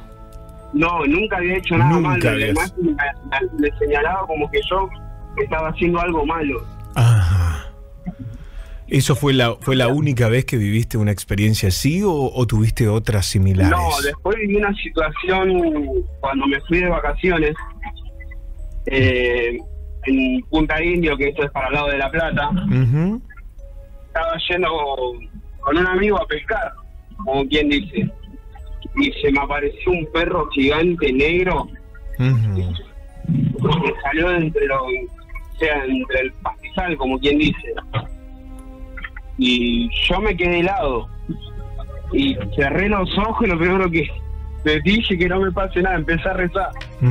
Y cuando abrí los ojos se paró entre medio de los, de los árboles, o sea, de- del pastizal, y desapareció. Esas dos veces fueron, la verdad, una experiencia horrible en mi vida. Dios, gracias, Che, por compartir tus historias. Te mando un abrazo. No, por favor, gracias a ustedes. Hace una semana Recomendó. eh, mis compañeros de labor de la empresa entró un postal. ¿A qué te dijeron? ¿Tenés que escuchar La Noche Paranormal? ¿Qué te dijeron? Sí, le dijeron escuchar que están muy buenas las historias. Y ellos saben que mi familia es un bandito. Entonces me dice, escuchá esa historia, me dice, la vas a ver. Yo ahora más estoy trabajando en José Cepá, vengo manejando y los vengo escuchando. Y estoy todo en la oscuridad vengo con 50 ojos. Es buenísimo, es mejor que una película esto, ¿viste? Es increíble, la verdad, sin palabras. Lo mejor para ustedes. Gracias, loco. Ahora te toca a vos hacer eh, lo mismo, que recomendarle la radio a otra gente. Quédate bien tranquilo que se la recomiendo. Dale, un abrazo.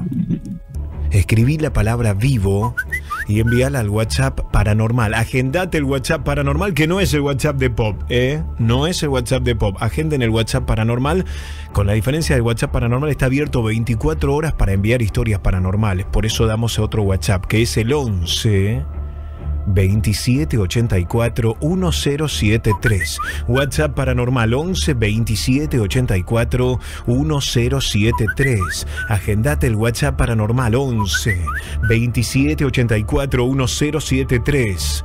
Escribí la palabra vivo. Te llamamos y te ponemos al aire ahora mismo para que cuentes tu historia.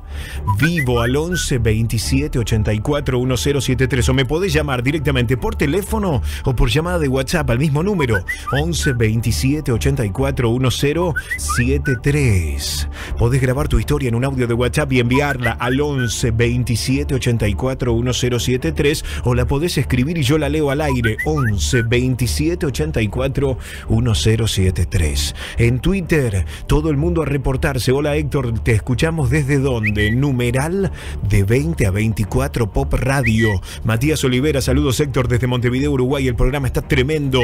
Hola Antonio querido, hola Maki Morgan. Numeral de 20 a 24 Pop Radio. Te leo en Twitter. Numeral de 20 a 24 Pop Radio. Estás en la pop, escuchando a Héctor Rossi.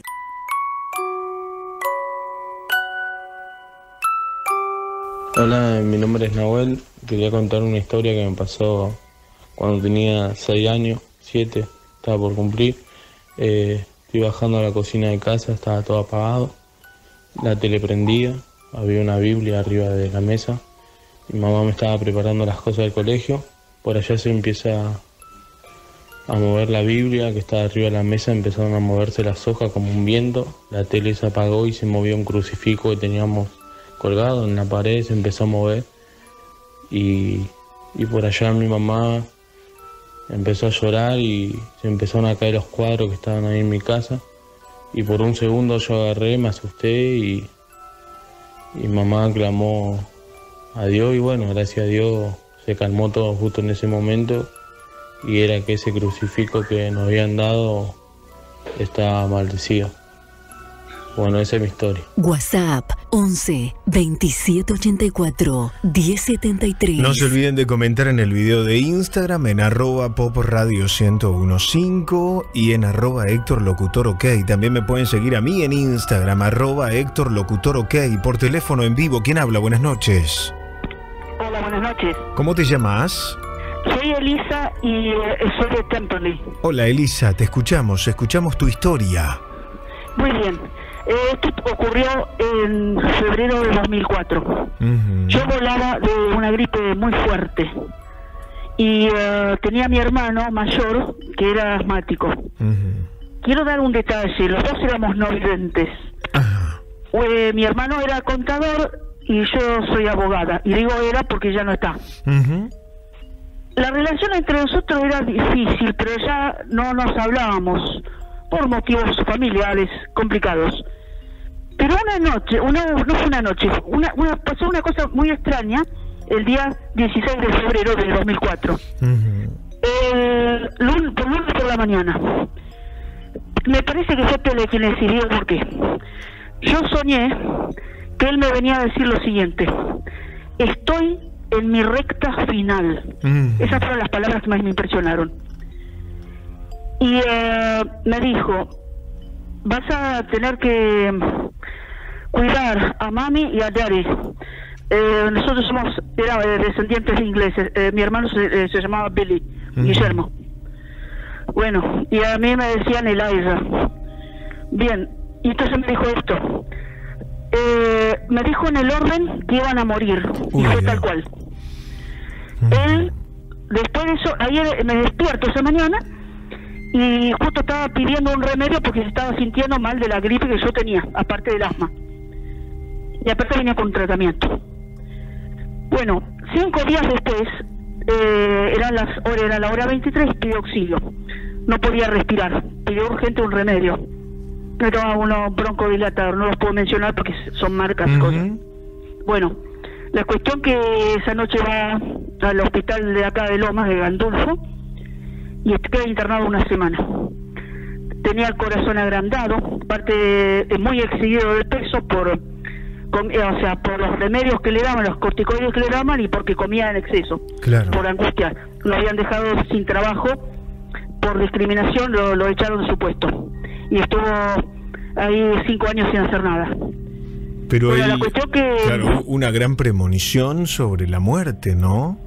Sí, sí, sí, sí, sí, sí. Es más, eh, lo internan, vuelve a casa, más o menos, eh, ya no era no- eh, la vida normal, pero seguía movilizado, o sea, se movía, podía salir, pero ya estaba recontra medicado, bueno, toda una historia. Sobrevivió 15 meses. Y eh, está aquí, el 8 de mayo de 2005 falleció luego de media hora de ahogarse, pedir auxilio. Llamamos a la ambulancia y cuando llega ya estaba muerto en casa. Dios mío. Y eh, tres años después, dos años después se enferma mi mamá. Porque no solo había perdido a Bele, sino a Cintia, otra hermana más que teníamos, que sí veía. Mi hermana murió en esta casa, en la, en la- en la habitación de abajo. Es una casa inglesa de dos plantas. Muy bien. La cuestión que mm, fallece mi mamá en 2008 por eh, un cáncer este, de colon porque ya no podía soportar la, la angustia, la- el dolor de haber perdido dos hijos. Una de los 25 años y mi hermano eh, Pele a los 44. Eh, y mi mamá fallece en 2008, el 15 de octubre. Y luego, el, eh, la segunda parte, la tercera parte de la profecía era mi papá, eh, daddy, papá, papi. Y mi papá falleció hace cuatro años, el año 17. Bueno, más de este ah, era una cosa compleja, una enfermedad, de- achaques de salud de, de mayor, pero fue que él se fue descuidando por el dolor de, de haber perdido a sus hijos y su esposa. Yo lo sostuve como pude, pero fue tal cual como me dijo Beli, que los iba a tener que cuidar y que iba a tener que dirigir la casa, que, que los cuidara porque de los tres hermanos era la más cabal. Nunca decía cosas elogiosas de mí, Claro. pero esta vez en ese sueño, aquel sueño lo dijo. Esa es mi historia. Gracias, Che, por compartirla con nosotros. Te mando un beso grande. Eh, otro para vos, gracias Héctor. Gracias. Son historias verdaderas contadas por sus protagonistas y como ves en primera persona. Hola Héctor, soy Luciano. Esto me sucedió hace varios años. Resulta que yo trabajo en seguridad por todos lados, hago custodia. Un día me tocó cubrir servicio adentro de Parque Industrial Pilar. Adentro había unas antenas de telefonía para cuidar y al lado un campo sembrado con frutillas para cosechar. Preguntamos a unas personas para comprar y nos dijeron sacalas. Te cobro por lo que saques. Con mi compañero cosechamos dos bandejas que guardamos en el baúl del auto. Pasada la medianoche, tipo 3 de la mañana, recostado en mi asiento siento una presión muy fuerte en el pecho. Quise incorporarme y no pude. Quise hablar y tampoco. De repente sentí como dos ojos rojos me miraban de frente como inspeccionándome. Quise gritar, pedir ayuda y no podía emitir sonidos. Me asusté mucho. Lo único que se me ocurrió fue rezar en mi mente, Padre nuestro que estás en los cielos. Estos ojos me miraron una vez más. Y se fue. Pude hablar, me desperté exaltado. Mi compañero me ve y dice, ¿qué viste? Yo no vi nada, pero sentí una presencia, una presencia muy fuerte. Consulté y alguien me dijo, lo que pasa es que te paraste en el lugar equivocado, a la hora equivocada. Aparentemente, en ese lugar había alguien enterrado. ¿Quién habla? Hola, buenas noches. Y buenas noches, Héctor. ¿Cómo te va? Muy te bien. habla Claudio, Bienvenido. eh, personal de seguridad. Yo el otro día te conté una historia en el de- del 2008, Sí, cuando fui a Villanueva. sí, Claudio. Y tengo para contarte otra historia paranormal. No quise ocupar el otro día mucho tiempo. Agradecido que ayer ustedes me llamaron de la radio, debido a que yo llamaba y no podía comunicarme, pero bueno, no, no nos contactamos. ¿Te cuento la historia? Te escuchamos, sí. Bueno, en el año 2008, 2009 aproximadamente, cuando yo conocí a la que hoy es mi esposa, que éramos novios, ella tenía dos nenas de cuatro añitos y cinco añitos. Un día me llama asustada a la noche, me manda un mensaje que la llame. La llamo, en aquel tiempo había celulares bolitas, no había los celulares de ahora. Le pregunto qué pasaba y me dice, alguien quiere entrar en casa. Le digo, pero ¿cómo? ¿Vos lo viste?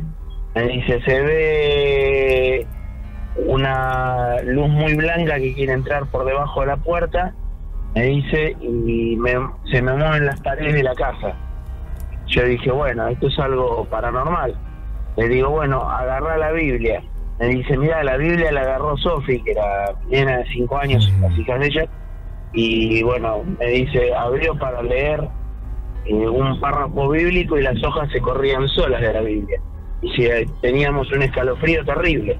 Bueno, yo corto, le digo, voy a llamar al 911. Logro comunicarme, pido un móvil. Se apertó un móvil en el lugar. Eh, van a ver, eran dos policías, uno mayor y uno jovencito. El jovencito le dice al pastor, la señora no habrá tomado alguna droga, algo. No, no, le dice, el señora lléveme, ¿quién lo escucha? Dice, yo escuchaba como llantos de bebé. ¿Tiene pozo usted acá en la casa? Sí. ¿Usted realizó abortos? No, le dice mi, mi novia en ese momento y mi esposa. Y el hombre va con un reflector, alumbra el pozo y los llantos venían de ahí. Mm. Y si usted sabe que en la casa realizaron abortos o trabajos de, de un banda, de macumba, la verdad lo desconozco. Bueno, la cuestión que era habían hecho trabajos en esa casa la gente anterior que vivía y empezaron a manifestar las cosas. Como nosotros eh, éramos nuevos en el camino de Dios, empezamos a concurrir una iglesia, empezó a pasar de todo, hasta que nuestro gato, que era gris, cambió de color a negro y frecuentaba todas las noches la casa y las amedrentaba, las asustaba. Qué bárbaro. Qué bárbaro, che, gracias por compartir tu historia. No, por favor, a ustedes, muy bueno el programa. Un abrazo grande. Hola Héctor, soy de Zona Sur. No puedo decir mi nombre por seguridad. Hace 10 años, cuando mi madre vivía una noche de calor, mi madre se despierta y ve que una silueta observaba hacia afuera. Pensando que era yo, que me había levantado por un ruido, me llama, hijo, ¿qué pasó? Mira hacia mi cama y yo dormía. Cuando vuelve a ver la puerta ya no había nadie. Esta historia es real. 11 2784 1073 para salir al aire en vivo ya mismo. Escribí la palabra vivo y mandala al WhatsApp paranormal 11 2784 1073. Escribí la palabra vivo al 11 2784 1073. O me llamas directamente por llamada telefónica o llamada de WhatsApp al mismo número 11 2784 1073. También podés grabar tu historia en un audio de WhatsApp y enviarlo al 11 27 84 1073 o la escribís y yo la leo. 11 27 84 1073. Si quieren ayudarnos, ya saben, la foto del perfil de nuestro WhatsApp paranormal del 11 27 84 1073. Vas a la foto de nuestro perfil, la ampliás haces una captura de pantalla, reenvías la foto a tus contactos o a tus grupos de WhatsApp y les pedís que hagan lo mismo, que tus contactos reenvíen la foto a sus contactos. En Instagram, arroba Héctor Locutor OK. Seguime, arroba Héctor Locutor OK. ¿Quién habla en vivo? Hola, buenas noches. Hola, buenas noches. Me llamo Daniel. Bienvenido, Daniel. En este momento vivo en Espe- ¿Qué tal? Buenas noches. Un gusto de escucharte, como siempre. Gracias a vos. Y, Te escuchamos a vos, queremos saber tu histo- historia.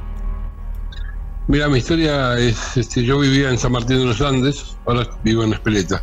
Eh, vivía en San Martín de los Andes y teníamos un negocio en Cutralcó, el cual este, teníamos empleados y mm, dos veces por semana viajábamos de San Martín de los Andes a Cutralcó eh, a ver el negocio, a recaudar, a un montón de cosas.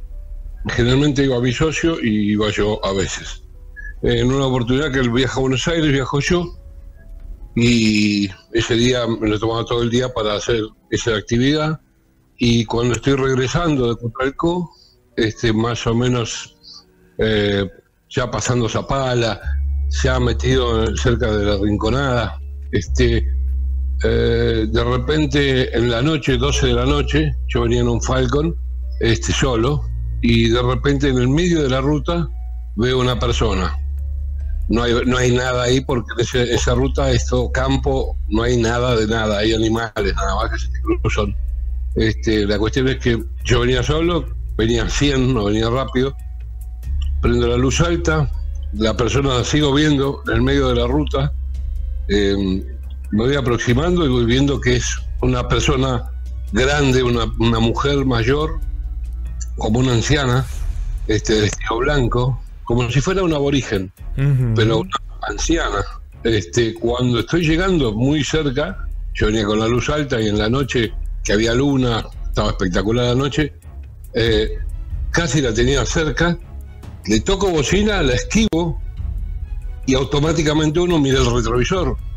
Y no había nada, mira, te lo cuento y me pone la piel de gallina, no había nada atrás y se veía en la, en la noche la luna y no había nada, ¿viste? Bueno, me, me, me, me reasusté, dije, bueno, este aquí que cuando estaba llegando, llegando a Junín de los Andes, que es una zona de mucho, este, mucho ciervo suelto, este, en una curva, salta un ciervo en medio de la ruta y tengo un accidente. Eso habrá pasado hora y media después. Este, bueno, no, por suerte no me maté, pero el auto quedó destruido, destruido.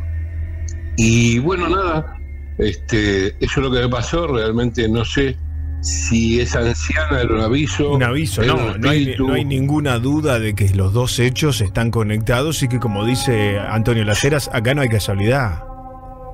No, no. eh, te digo, mira, en este momento tengo el piel de gallina. Yo lo he contado un par de veces, medio me han, me han mirado como que este, estaba diciendo cualquier cosa. No bebo, pero bueno, la cuestión es que me pasó.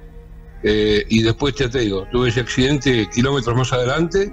No había vehículo, no había nada. Fue un animal que se cruzó, un ciervo, este, que lo traté de esquivar, pero el ciervo siguió caminando y yo, bueno, la maniobra no fue la que tendría que haber hecho y el auto quedó destruido, no me hice nada gracias al cinturón de seguridad este, y era un falco.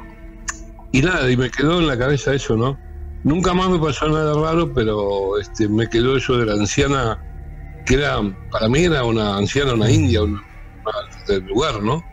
Este, y, y nada, desapareció, pero yo la veía perfecta, o sea, cara, todo, o sea, cuando estaba cerca, que la paso al lado, no, no es que se fumó o no tenía rostro, como más de una vez cuenta, yo no, tenía rostro, pero cuando pasé, que, que medio me asusté, miré el retrovisor y no había nada, nada en la ruta, solamente la ruta muerta. Dios. Para mi historia, y bueno, este, por suerte estoy vivo, este, pero bueno, nada, es un gusto y gracias por haberme atendido y siempre los escucho. Gracias a vos, gracias por estar, un abrazo. Un placer, ¿eh? hasta luego. Gracias. Estamos en vivo en la noche paranormal hasta las 12. Quédense con nosotros, ya volvemos. Estás escuchando a Héctor Rossi hasta la medianoche, acá en la Pop 1015. Cuando me despierto así, yo estaba durmiendo tipo cucharita hacia un costado, para el lado de la ventanilla mirando por el campo. Cuando me despierto, veo una persona de una mujer, la cara toda así muy endemoniada, endemoniada mal. La miro así, un instante, cierro los ojos, 10 segundos, vuelvo a abrir y la mujer ya no estaba más. Bueno, pasó, nunca lo comenté nada, hasta que un día comentando con algunos camioneros, le conté la situación que me había pasado. Y ahí es donde él, uno me cuenta me dice, en ese lugar donde vos hiciste noche, me dice, ahí antes un cementerio indio. Normalmente ahí en esa localidad casi nadie se queda a dormir, me dice. Y bueno, y sucesivamente después, bueno, fueron contando muchas historias de ese lugar, así que le pasaron similar a lo que me pasó a mí. Hasta el día de hoy, bueno, sigo, me, me pasaron un montón de cosas en la ruta. Muchas historias que me pasaron en la ruta, bastante largas. Me pasó estando en Río Negro, me pasó estando en Entre Ríos, en todos esos lugares. WhatsApp 11 2784 1073. Buenas noches, Héctor. Mi... Soy Andrea de San Miguel. Mi historia paranormal es cuando yo tenía 10 años y mi hermana 13. Compartíamos la misma habitación. Y esa habitación no tenía puerta y daba un pasillo largo. Todas las mañanas, a la misma hora, nos despertaba un ruido como de alguien que estuviera pasando el trapo de piso. Eso pasó durante como dos años y ahí mismo consecutivamente se escuchaba como si alguien estuviera jugando a las bolitas. Nada la casualidad de que todos estábamos durmiendo, pero a nosotras siempre nos despertaba ese ruido y nos aterraba tanto que, que nos tapábamos toda, toda hasta la cabeza y nos decíamos, ¿estás despierta? a la una a la otra. Y lo escuchábamos al mismo tiempo, era horrible. Héctor Rossi en la Pop 1015. Gracias por estar con nosotros hasta las 12 de la noche, la noche paranormal, de lunes a viernes, de 20 a 24. Quiero saber si están ahí, a ver si me envían un videito por WhatsApp. Estás escuchando a Héctor Rossi hasta la medianoche, acá en la Pop 1015. Buenas noches, Héctor. Te habla Orestes, el uruguayo, acá trabajando en la gráfica de Pompeya. Bueno, te escucho desde los principios, desde siempre. Eh, parece mentira, pero cada vez que me cambian de turno noche, eh, arranca la paranormal. Eh, desde que te fuiste no había, no estaba trabajando de noche, volviste de noche y volviste a la paranormal y volví a trabajar de noche. Pero bueno, eh, nada, la radio está buenísima, me encanta, tengo un montón de historias este, paranormales, de, de muchas apariciones. Pero bueno, fuera de todo esto, yo soy pai de un banda y bueno, y, y conozco que gente hace las cosas bien, que hace las cosas mal, pero bueno, este, me encantaría charlar con vos y contarte algo particular que pasó la semana pasada cuando yo hace una semana más o menos que, dos semanas que volví a trabajar de noche. eh, resulta que mi señora de mi casa eh, me manda un videíto de unos 16 segundos, más o menos 20 segundos. Eh, yo tengo la costumbre de coleccionar juguetes, juguetes chiquititos, autitos, eh, muñequitos que encuentro en la calle, pero todo que sea juguetes usados. Los guardo porque considero que tienen una energía especial de los chicos que juegan con la imaginación. Y siempre los guardo, los tenía en una repisa. Eh, y lo iba juntando. Bueno, la- en síntesis, mi señora le agarró como, como para hacerme un regalo. Pegó todos los juguetes, los limpió todos y los pegó todos sobre la pared. Pegó todos los juguetitos, los autitos, todos sobre la pared. Pero no se dio cuenta que estaban, que de fondo había una película, estaba el televisor prendido. Y da justo la casualidad, justo la casualidad que el audio de la tele dice, eh, se escucha una nena que mi señora ni siquiera se acuerda qué película estaba viendo o qué era lo que estaba mirando el nene, o estaba el nene mirando y no le había dado importancia. Este, y dice, se escucha, eh, papi, papi, papi, como si fuera una nena. Para mí me resultó algo paranormal y de fondo se escucha, están vivos. Era como que una criatura se manifiesta en el lugar a través de un audio. eh, o sea, para mí me, son- me, son- me- me resultó eso. De que era una criatura, que había una presencia de una criatura que contenta porque, porque habían acomodado todos los juguetes.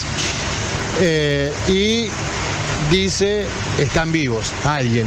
En una película, en un video, algo que estaba prendido y no se escucha la voz de nadie, solamente eso. Bueno, ahora te paso el videíto para que lo analices y bueno, un saludo a la radio. Me encanta el programa, un saludo a la vieja Elvira. Eh, y la verdad, buenísimo, buenísimo todo, me, me- encanta lo paranormal y bueno, sobre las eh, apariciones, visiones y cosas de- de la religión también podemos hablar, de algún día que quieras que hablemos. Este, hay muchas cosas buenas y muchas cosas eh, traumáticas, pero la verdad, bueno, eh, un saludo para todos y bueno, te habla Orestes, el uruguayo de, de La Plata, trabajando en Pompeya, de una punta a la otra. Hashtag de 2024. Pop Radio. Hola Héctor, soy Eduardo de la provincia de Chubut. Muy bueno el programa, lo escucho hace poco. Descargo los audios y los voy escuchando en mi trabajo. Te cuento mi historia paranormal. Cuando tenía entre 9 y 11 años, no recuerdo exactamente bien, me tocó ver cómo mis vecinos, que eran chicos, un nene y una nena, venían corriendo a mi casa a cualquier hora. Una vez a las 3 de la mañana corriendo, golpeando la puerta, llorando, que su mamá hablaba como un hombre. Te cuento primero lo que vi, después lo que me pasó. El ex marido de esta señora le contó a mis viejos que iba a averiguar para hacer un exorcismo. Que la señora se juntaba con gente de la noche y jugaba el juego de la copa. La señora se juntaba con gente metalera, con travestis. Y no era, de todas maneras, una buena mujer. Estaba embarazada, recuerdo que nunca vimos el bebé. Porque al tiempo la sacaron la señora. Y por esos días un bebé recién nacido apareció en un tacho de basura, afuera de una escuela. No sé si sería ese bebé. Un pibe que se juntaba con ella desapareció y salía hasta en las noticias que lo buscaban. Nunca lo encontraron. Ahora te cuento lo que me pasó a mí esa semana antes que entré a su casa a hacerle el exorcismo. Una noche dormido boca abajo, empiezo a sentir que me arañan la espalda desde el cuello a la cintura, lento. Pero empecé a toser hasta que me dolió la columna. Fue como cuatro veces que me arañaban así de repente. Yo me torcí en un momento tanto que terminé casi hundido en la cama. De repente me levanto de la cama, sin querer algo me lleva hasta la pieza de mis viejos. Camino por la parte de los pies de la cama, todo con luz apagada. Me paro en la ventana, la cortina estaba un poco abierta. Miro para la casa de mi vecina y estaba en la ventana de su casa mirándome. Con un pijama blanco arrugado el pelo, todo despeinado, la cara hinchada y pálida. Con la cabeza de costado, así, mirándome. Todo eso lo hice sin que yo quiera, digamos que veía lo que pasaba, pero manejaba mi cuerpo, parecía. Era una situación súper extraña. Esa semana otra cosa me pasó. Recorría mi casa con las luces apagadas. Yo sentía que estaba flotando mientras recorría mi casa. Hasta que volví a mi cama me sentaba y recién ahí volví a la calma. Eso no sé si fue por ella o porque era sonámbulo. No lo sé.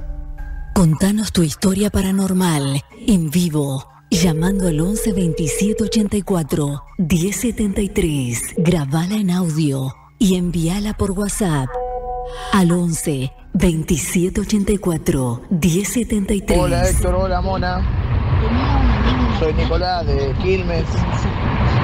Les quería contar una historia que no me pasó a mí, sino que le pasó a, a un tío. Esto fue en San Isidro, la cualidad de Bulón. Una vez estaba en la vereda, baldeando, media tarde, noche, cuando aparece un perro grande, muy, muy peludo, así como rabioso, y de repente ataca a uno de los perros de, de él. Mi tío agarra, lo defiende. Cuando empieza a pegarle con un palo a este, a este perro rabioso, el nene se asoma a la ventana. el perro ingresa a lo que sería el- la casa porque estaba el portón abierto. Pero no está como siempre. Y ahí se defiende porque estaba como queriendo atacarlo. Pelea un poco y sale corriendo para afuera. Ahí mi tío sale a seguirlo a este perro y cuando sale no lo ve. ¿Qué pasó con él? Pero a media cuadra veo a un hombre todo lastimado que se iba caminando con, como en sentido contrario para la casa. Lo que creemos era un estilo de, de lobillón o algo, algo por el estilo. Muchas gracias y bueno, que tengan buenas noches. Gracias. Gracias por estar con nosotros, por hacer el programa, por compartir sus historias. Hola Héctor, buenas noches. Soy Miguel de Cava y te cuento lo que me sucedió en el año 2007, en el mes de julio. Era custodia de camiones, el famoso culatero. Regresaba de la General Motors de Rosario por la autopista Ruta 9 a la altura de San Pedro, viniendo para Capital.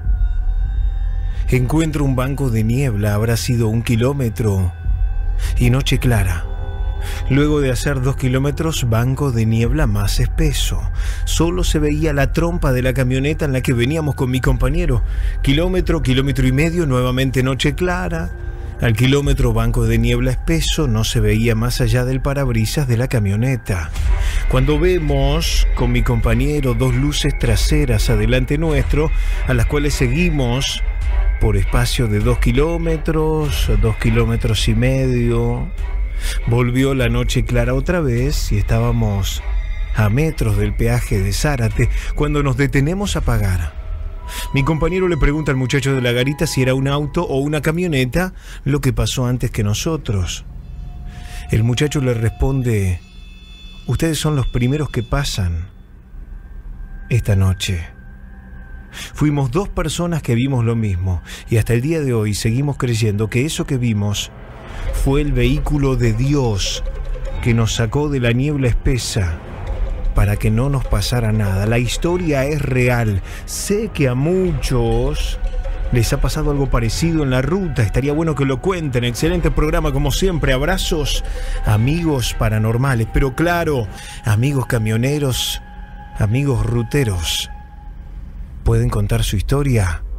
en alguna ruta, manda el audio al 11 27 84 1073 al WhatsApp paranormal 11 27 84 1073 en un audio. La puedes escribir y yo la leo o escribir la palabra vivo y te llamamos al aire. 11 27 84 1073. Tengo audios para compartir psicofonías que tanto nos gustan. En este caso, hay una app para el teléfono que se encarga de detectar fantasmas. Sleep Got se llama. Busquen la app, tiene distintos nombres, pero la en definitiva la función de la aplicación es grabar con el teléfono mientras dormimos para la gente que siente que tiene presencias en la habitación o que está acompañado cuando va a dormir, esta aplicación deja grabando en segundo plano en el teléfono todos los sonidos de la habitación, pero con un detalle. Cuando en general uno se va a dormir, el ruido es constante, silencio, alguna bocina lejana, el ruido del ventilador o del aire acondicionado, pero es un ruido blanco, un ruido constante. Sin embargo, cuando ocurra algo en esa noche, un sonido distinto, la aplicación hace una marca para que luego cuando vos te levantes no tengas que escuchar las 7 horas que dormiste, sino que directamente el audio avanza a los puntos donde la aplicación detectó alguna anomalía, algún cambio del sonido en el ambiente. Bueno, escuchen lo que grabó este oyente de pop que asegura estar y ser visitado por entidades mientras duerme. Lo cierto es que puso esta aplicación en el teléfono. Hay, hay, hay, varias, búsquenlas. Sleep es una, Sleep Ghost como fantasma es otra. Y Sleep Ghost también está. Son parecidas, cumplen la misma función.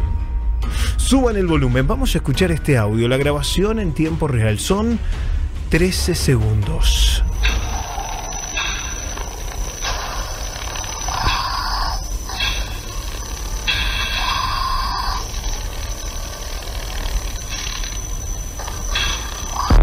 Bueno, estaban esperando que venga Juan Carlos, ¿no? No es un chiste, esto es en serio. ¿eh?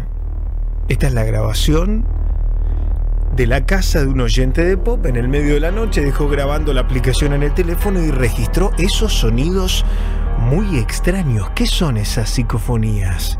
Yo no sé, ustedes escucho como un bebé, como un bebé balbuceando. Pero ¿es un bebé o es un demonio? ¿O es una entidad? Escuchen.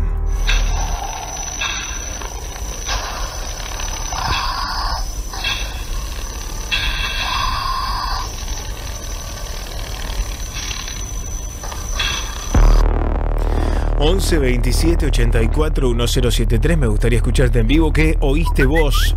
Si entendiste algo, ¿qué te parece que es esa voz? Si alguna vez te pasó algo parecido enviando un audio de WhatsApp. Psicofonías en audios grabados, sin querer en este caso.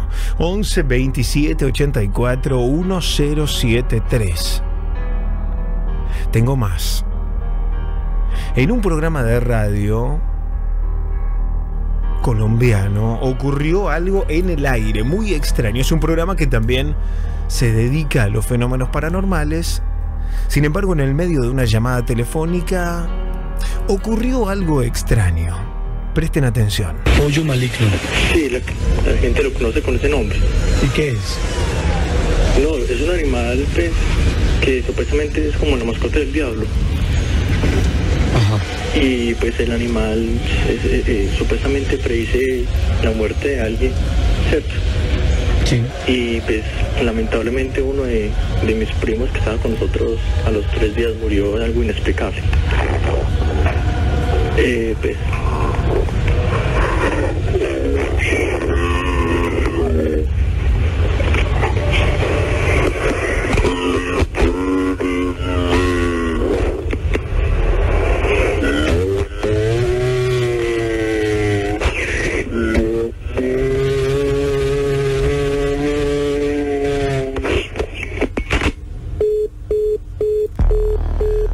puede ser algo preparado por el mismo programa, puede ser una broma del oyente o puede ser un fenómeno paranormal, porque se cortó la comunicación con el oyente que estaba relatando la historia.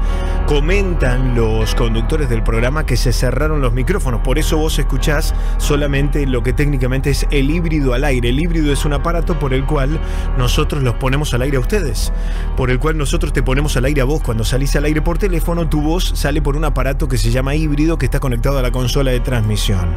Bueno, en este caso colapsaron los micrófonos del estudio, o sea, el locutor seguía hablando pero no salía al aire y solo se escuchaba la comunicación telefónica. Pero con esa voz gutural, grave, demoníaca, que tampoco se entiende bien qué dice, pareciera mamá que dice, pero como muy deformado. Lo vamos a escuchar de nuevo. Te digo lo mismo, yo no soy de los cazafantasmas, no sé si esto es verdad o mentira. Esto es un programa de radio. Yo comparto material para que entre todos lleguemos a conclusiones. Lo digo también porque a veces leo comentarios en el Instagram de Pop o en el mío, en arroba pop para que lo veamos entre todos. De hecho, el video que está ahora, que pueden ver, el de Poltergeist reales en un hospital, es lo que nos dice la persona que nos envía el video. Saca vos tus conclusiones, ya sea en Instagram, en arroba popradio 1015, arroba popradio 1015 o en un audio de WhatsApp, mándamelo ahora. ¿Qué te parece a vos esto? ¿Esto es verdad? ¿Esto es falso? ¿Esto está trucado? 11 27 84 1073. Yo ya lo conté acá. Una vez, y ahora pongo de nuevo el audio. Una vez me pasó algo muy particular a mí. Yo estaba saliendo con una chica, con una novia que tenía. Esta novia, recién empezábamos la relación, dos meses, tres meses y esta novia se va a pasar las vacaciones con la familia a la costa. Yo me quedé solo un par de meses y me porté mal, le fui infiel. La noche, yo vivía en un departamento solo, la noche en la que había cerrado una cita con otra flaca que me gustaba y con la que quería estar, en el momento en el que esta chica, la chica con la que yo quería estar, que no era mi novia, llega y toca el timbre. Mientras bajo por el ascensor para ir a abrirle, yo tenía en ese momento un teléfono celular, pero esto es hace muchos años, ¿eh? los primeros celulares con tapita, no smartphone. Los celulares donde solo hablabas por teléfono y, y solo mensajes de texto tenían.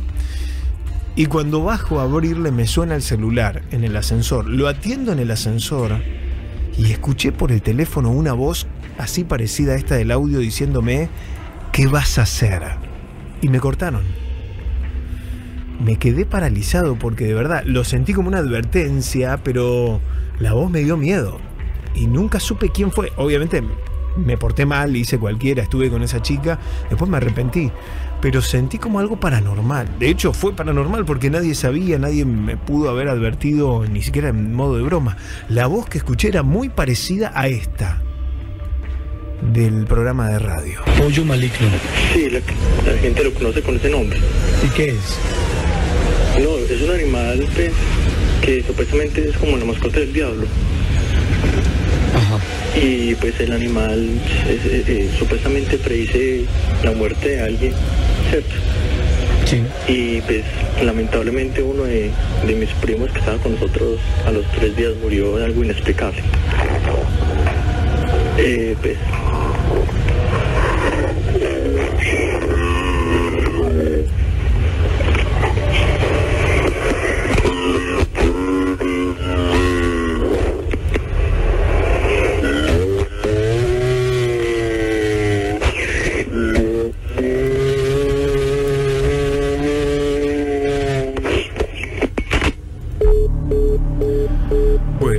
historias, algunas reales, otras no sabemos, pero las compartimos. ¿Qué te parece a vos? ¿Te pasó algo parecido alguna vez? 11 27 84 1073. Recibimos tu audio en el WhatsApp paranormal 11 27 84 1073. Hola, ¿qué tal? Soy Darío de Garim. Eh, esta historia es de hace tres años que trabajaba en una logística en el CCTV. Manejaba los domos, todos los domos, lo que era interior y exterior. Y bueno, y siempre veíamos en los monitores con otro compañero, estábamos en el turno noche. Todo el sector de afuera, los domos que apuntaban afuera, se veían sombras blancas, eh, moverse, quietas, y no íbamos a verificar y nunca se veía nada. Yendo en persona en el lugar no se veía nada, pero por los domos se podían ver. E incluso las personas de seguridad que trabajaban afuera sentían ruido, sentían sonidos extraños eh, y de entrada se asustaban. Después como que ya se acostumbraron a convivir y bueno, los que tenían miedo, mucho miedo, renunciaban, no se animaban a trabajar. Pero el tema era La vida al aire, según Héctor Rossi. Quédense con nosotros. Gracias Popochi, gracias Betty Michelle. Un beso a Betty que desde Los Ángeles, la voz de la radio, escucha La Noche Paranormal. La vi en, en una historia que me hizo en Instagram. Arroba Héctor Locutor OK. Arroba Héctor Locutor OK. Me siguen en Instagram. Gracias por estar del otro lado. Vivimos un super ritual de lunes a viernes de 20 a 24. Escuchamos Pop Radio y hacemos La Noche Pop especial paranormal. En internet nos pueden escuchar en www.radiopop.fm. www.radiopop.fm. Ya volvemos. Estás escuchando a Héctor Rossi hasta la medianoche, acá en la Pop. Ponete las pilas, sosegate un poco que te va a agarrar Morena, que es una chuki. Beso Morena, besos a todos, a todas, gracias por acompañarnos. Llegamos a las 12 de la noche en la República Argentina de este lunes 22 de agosto.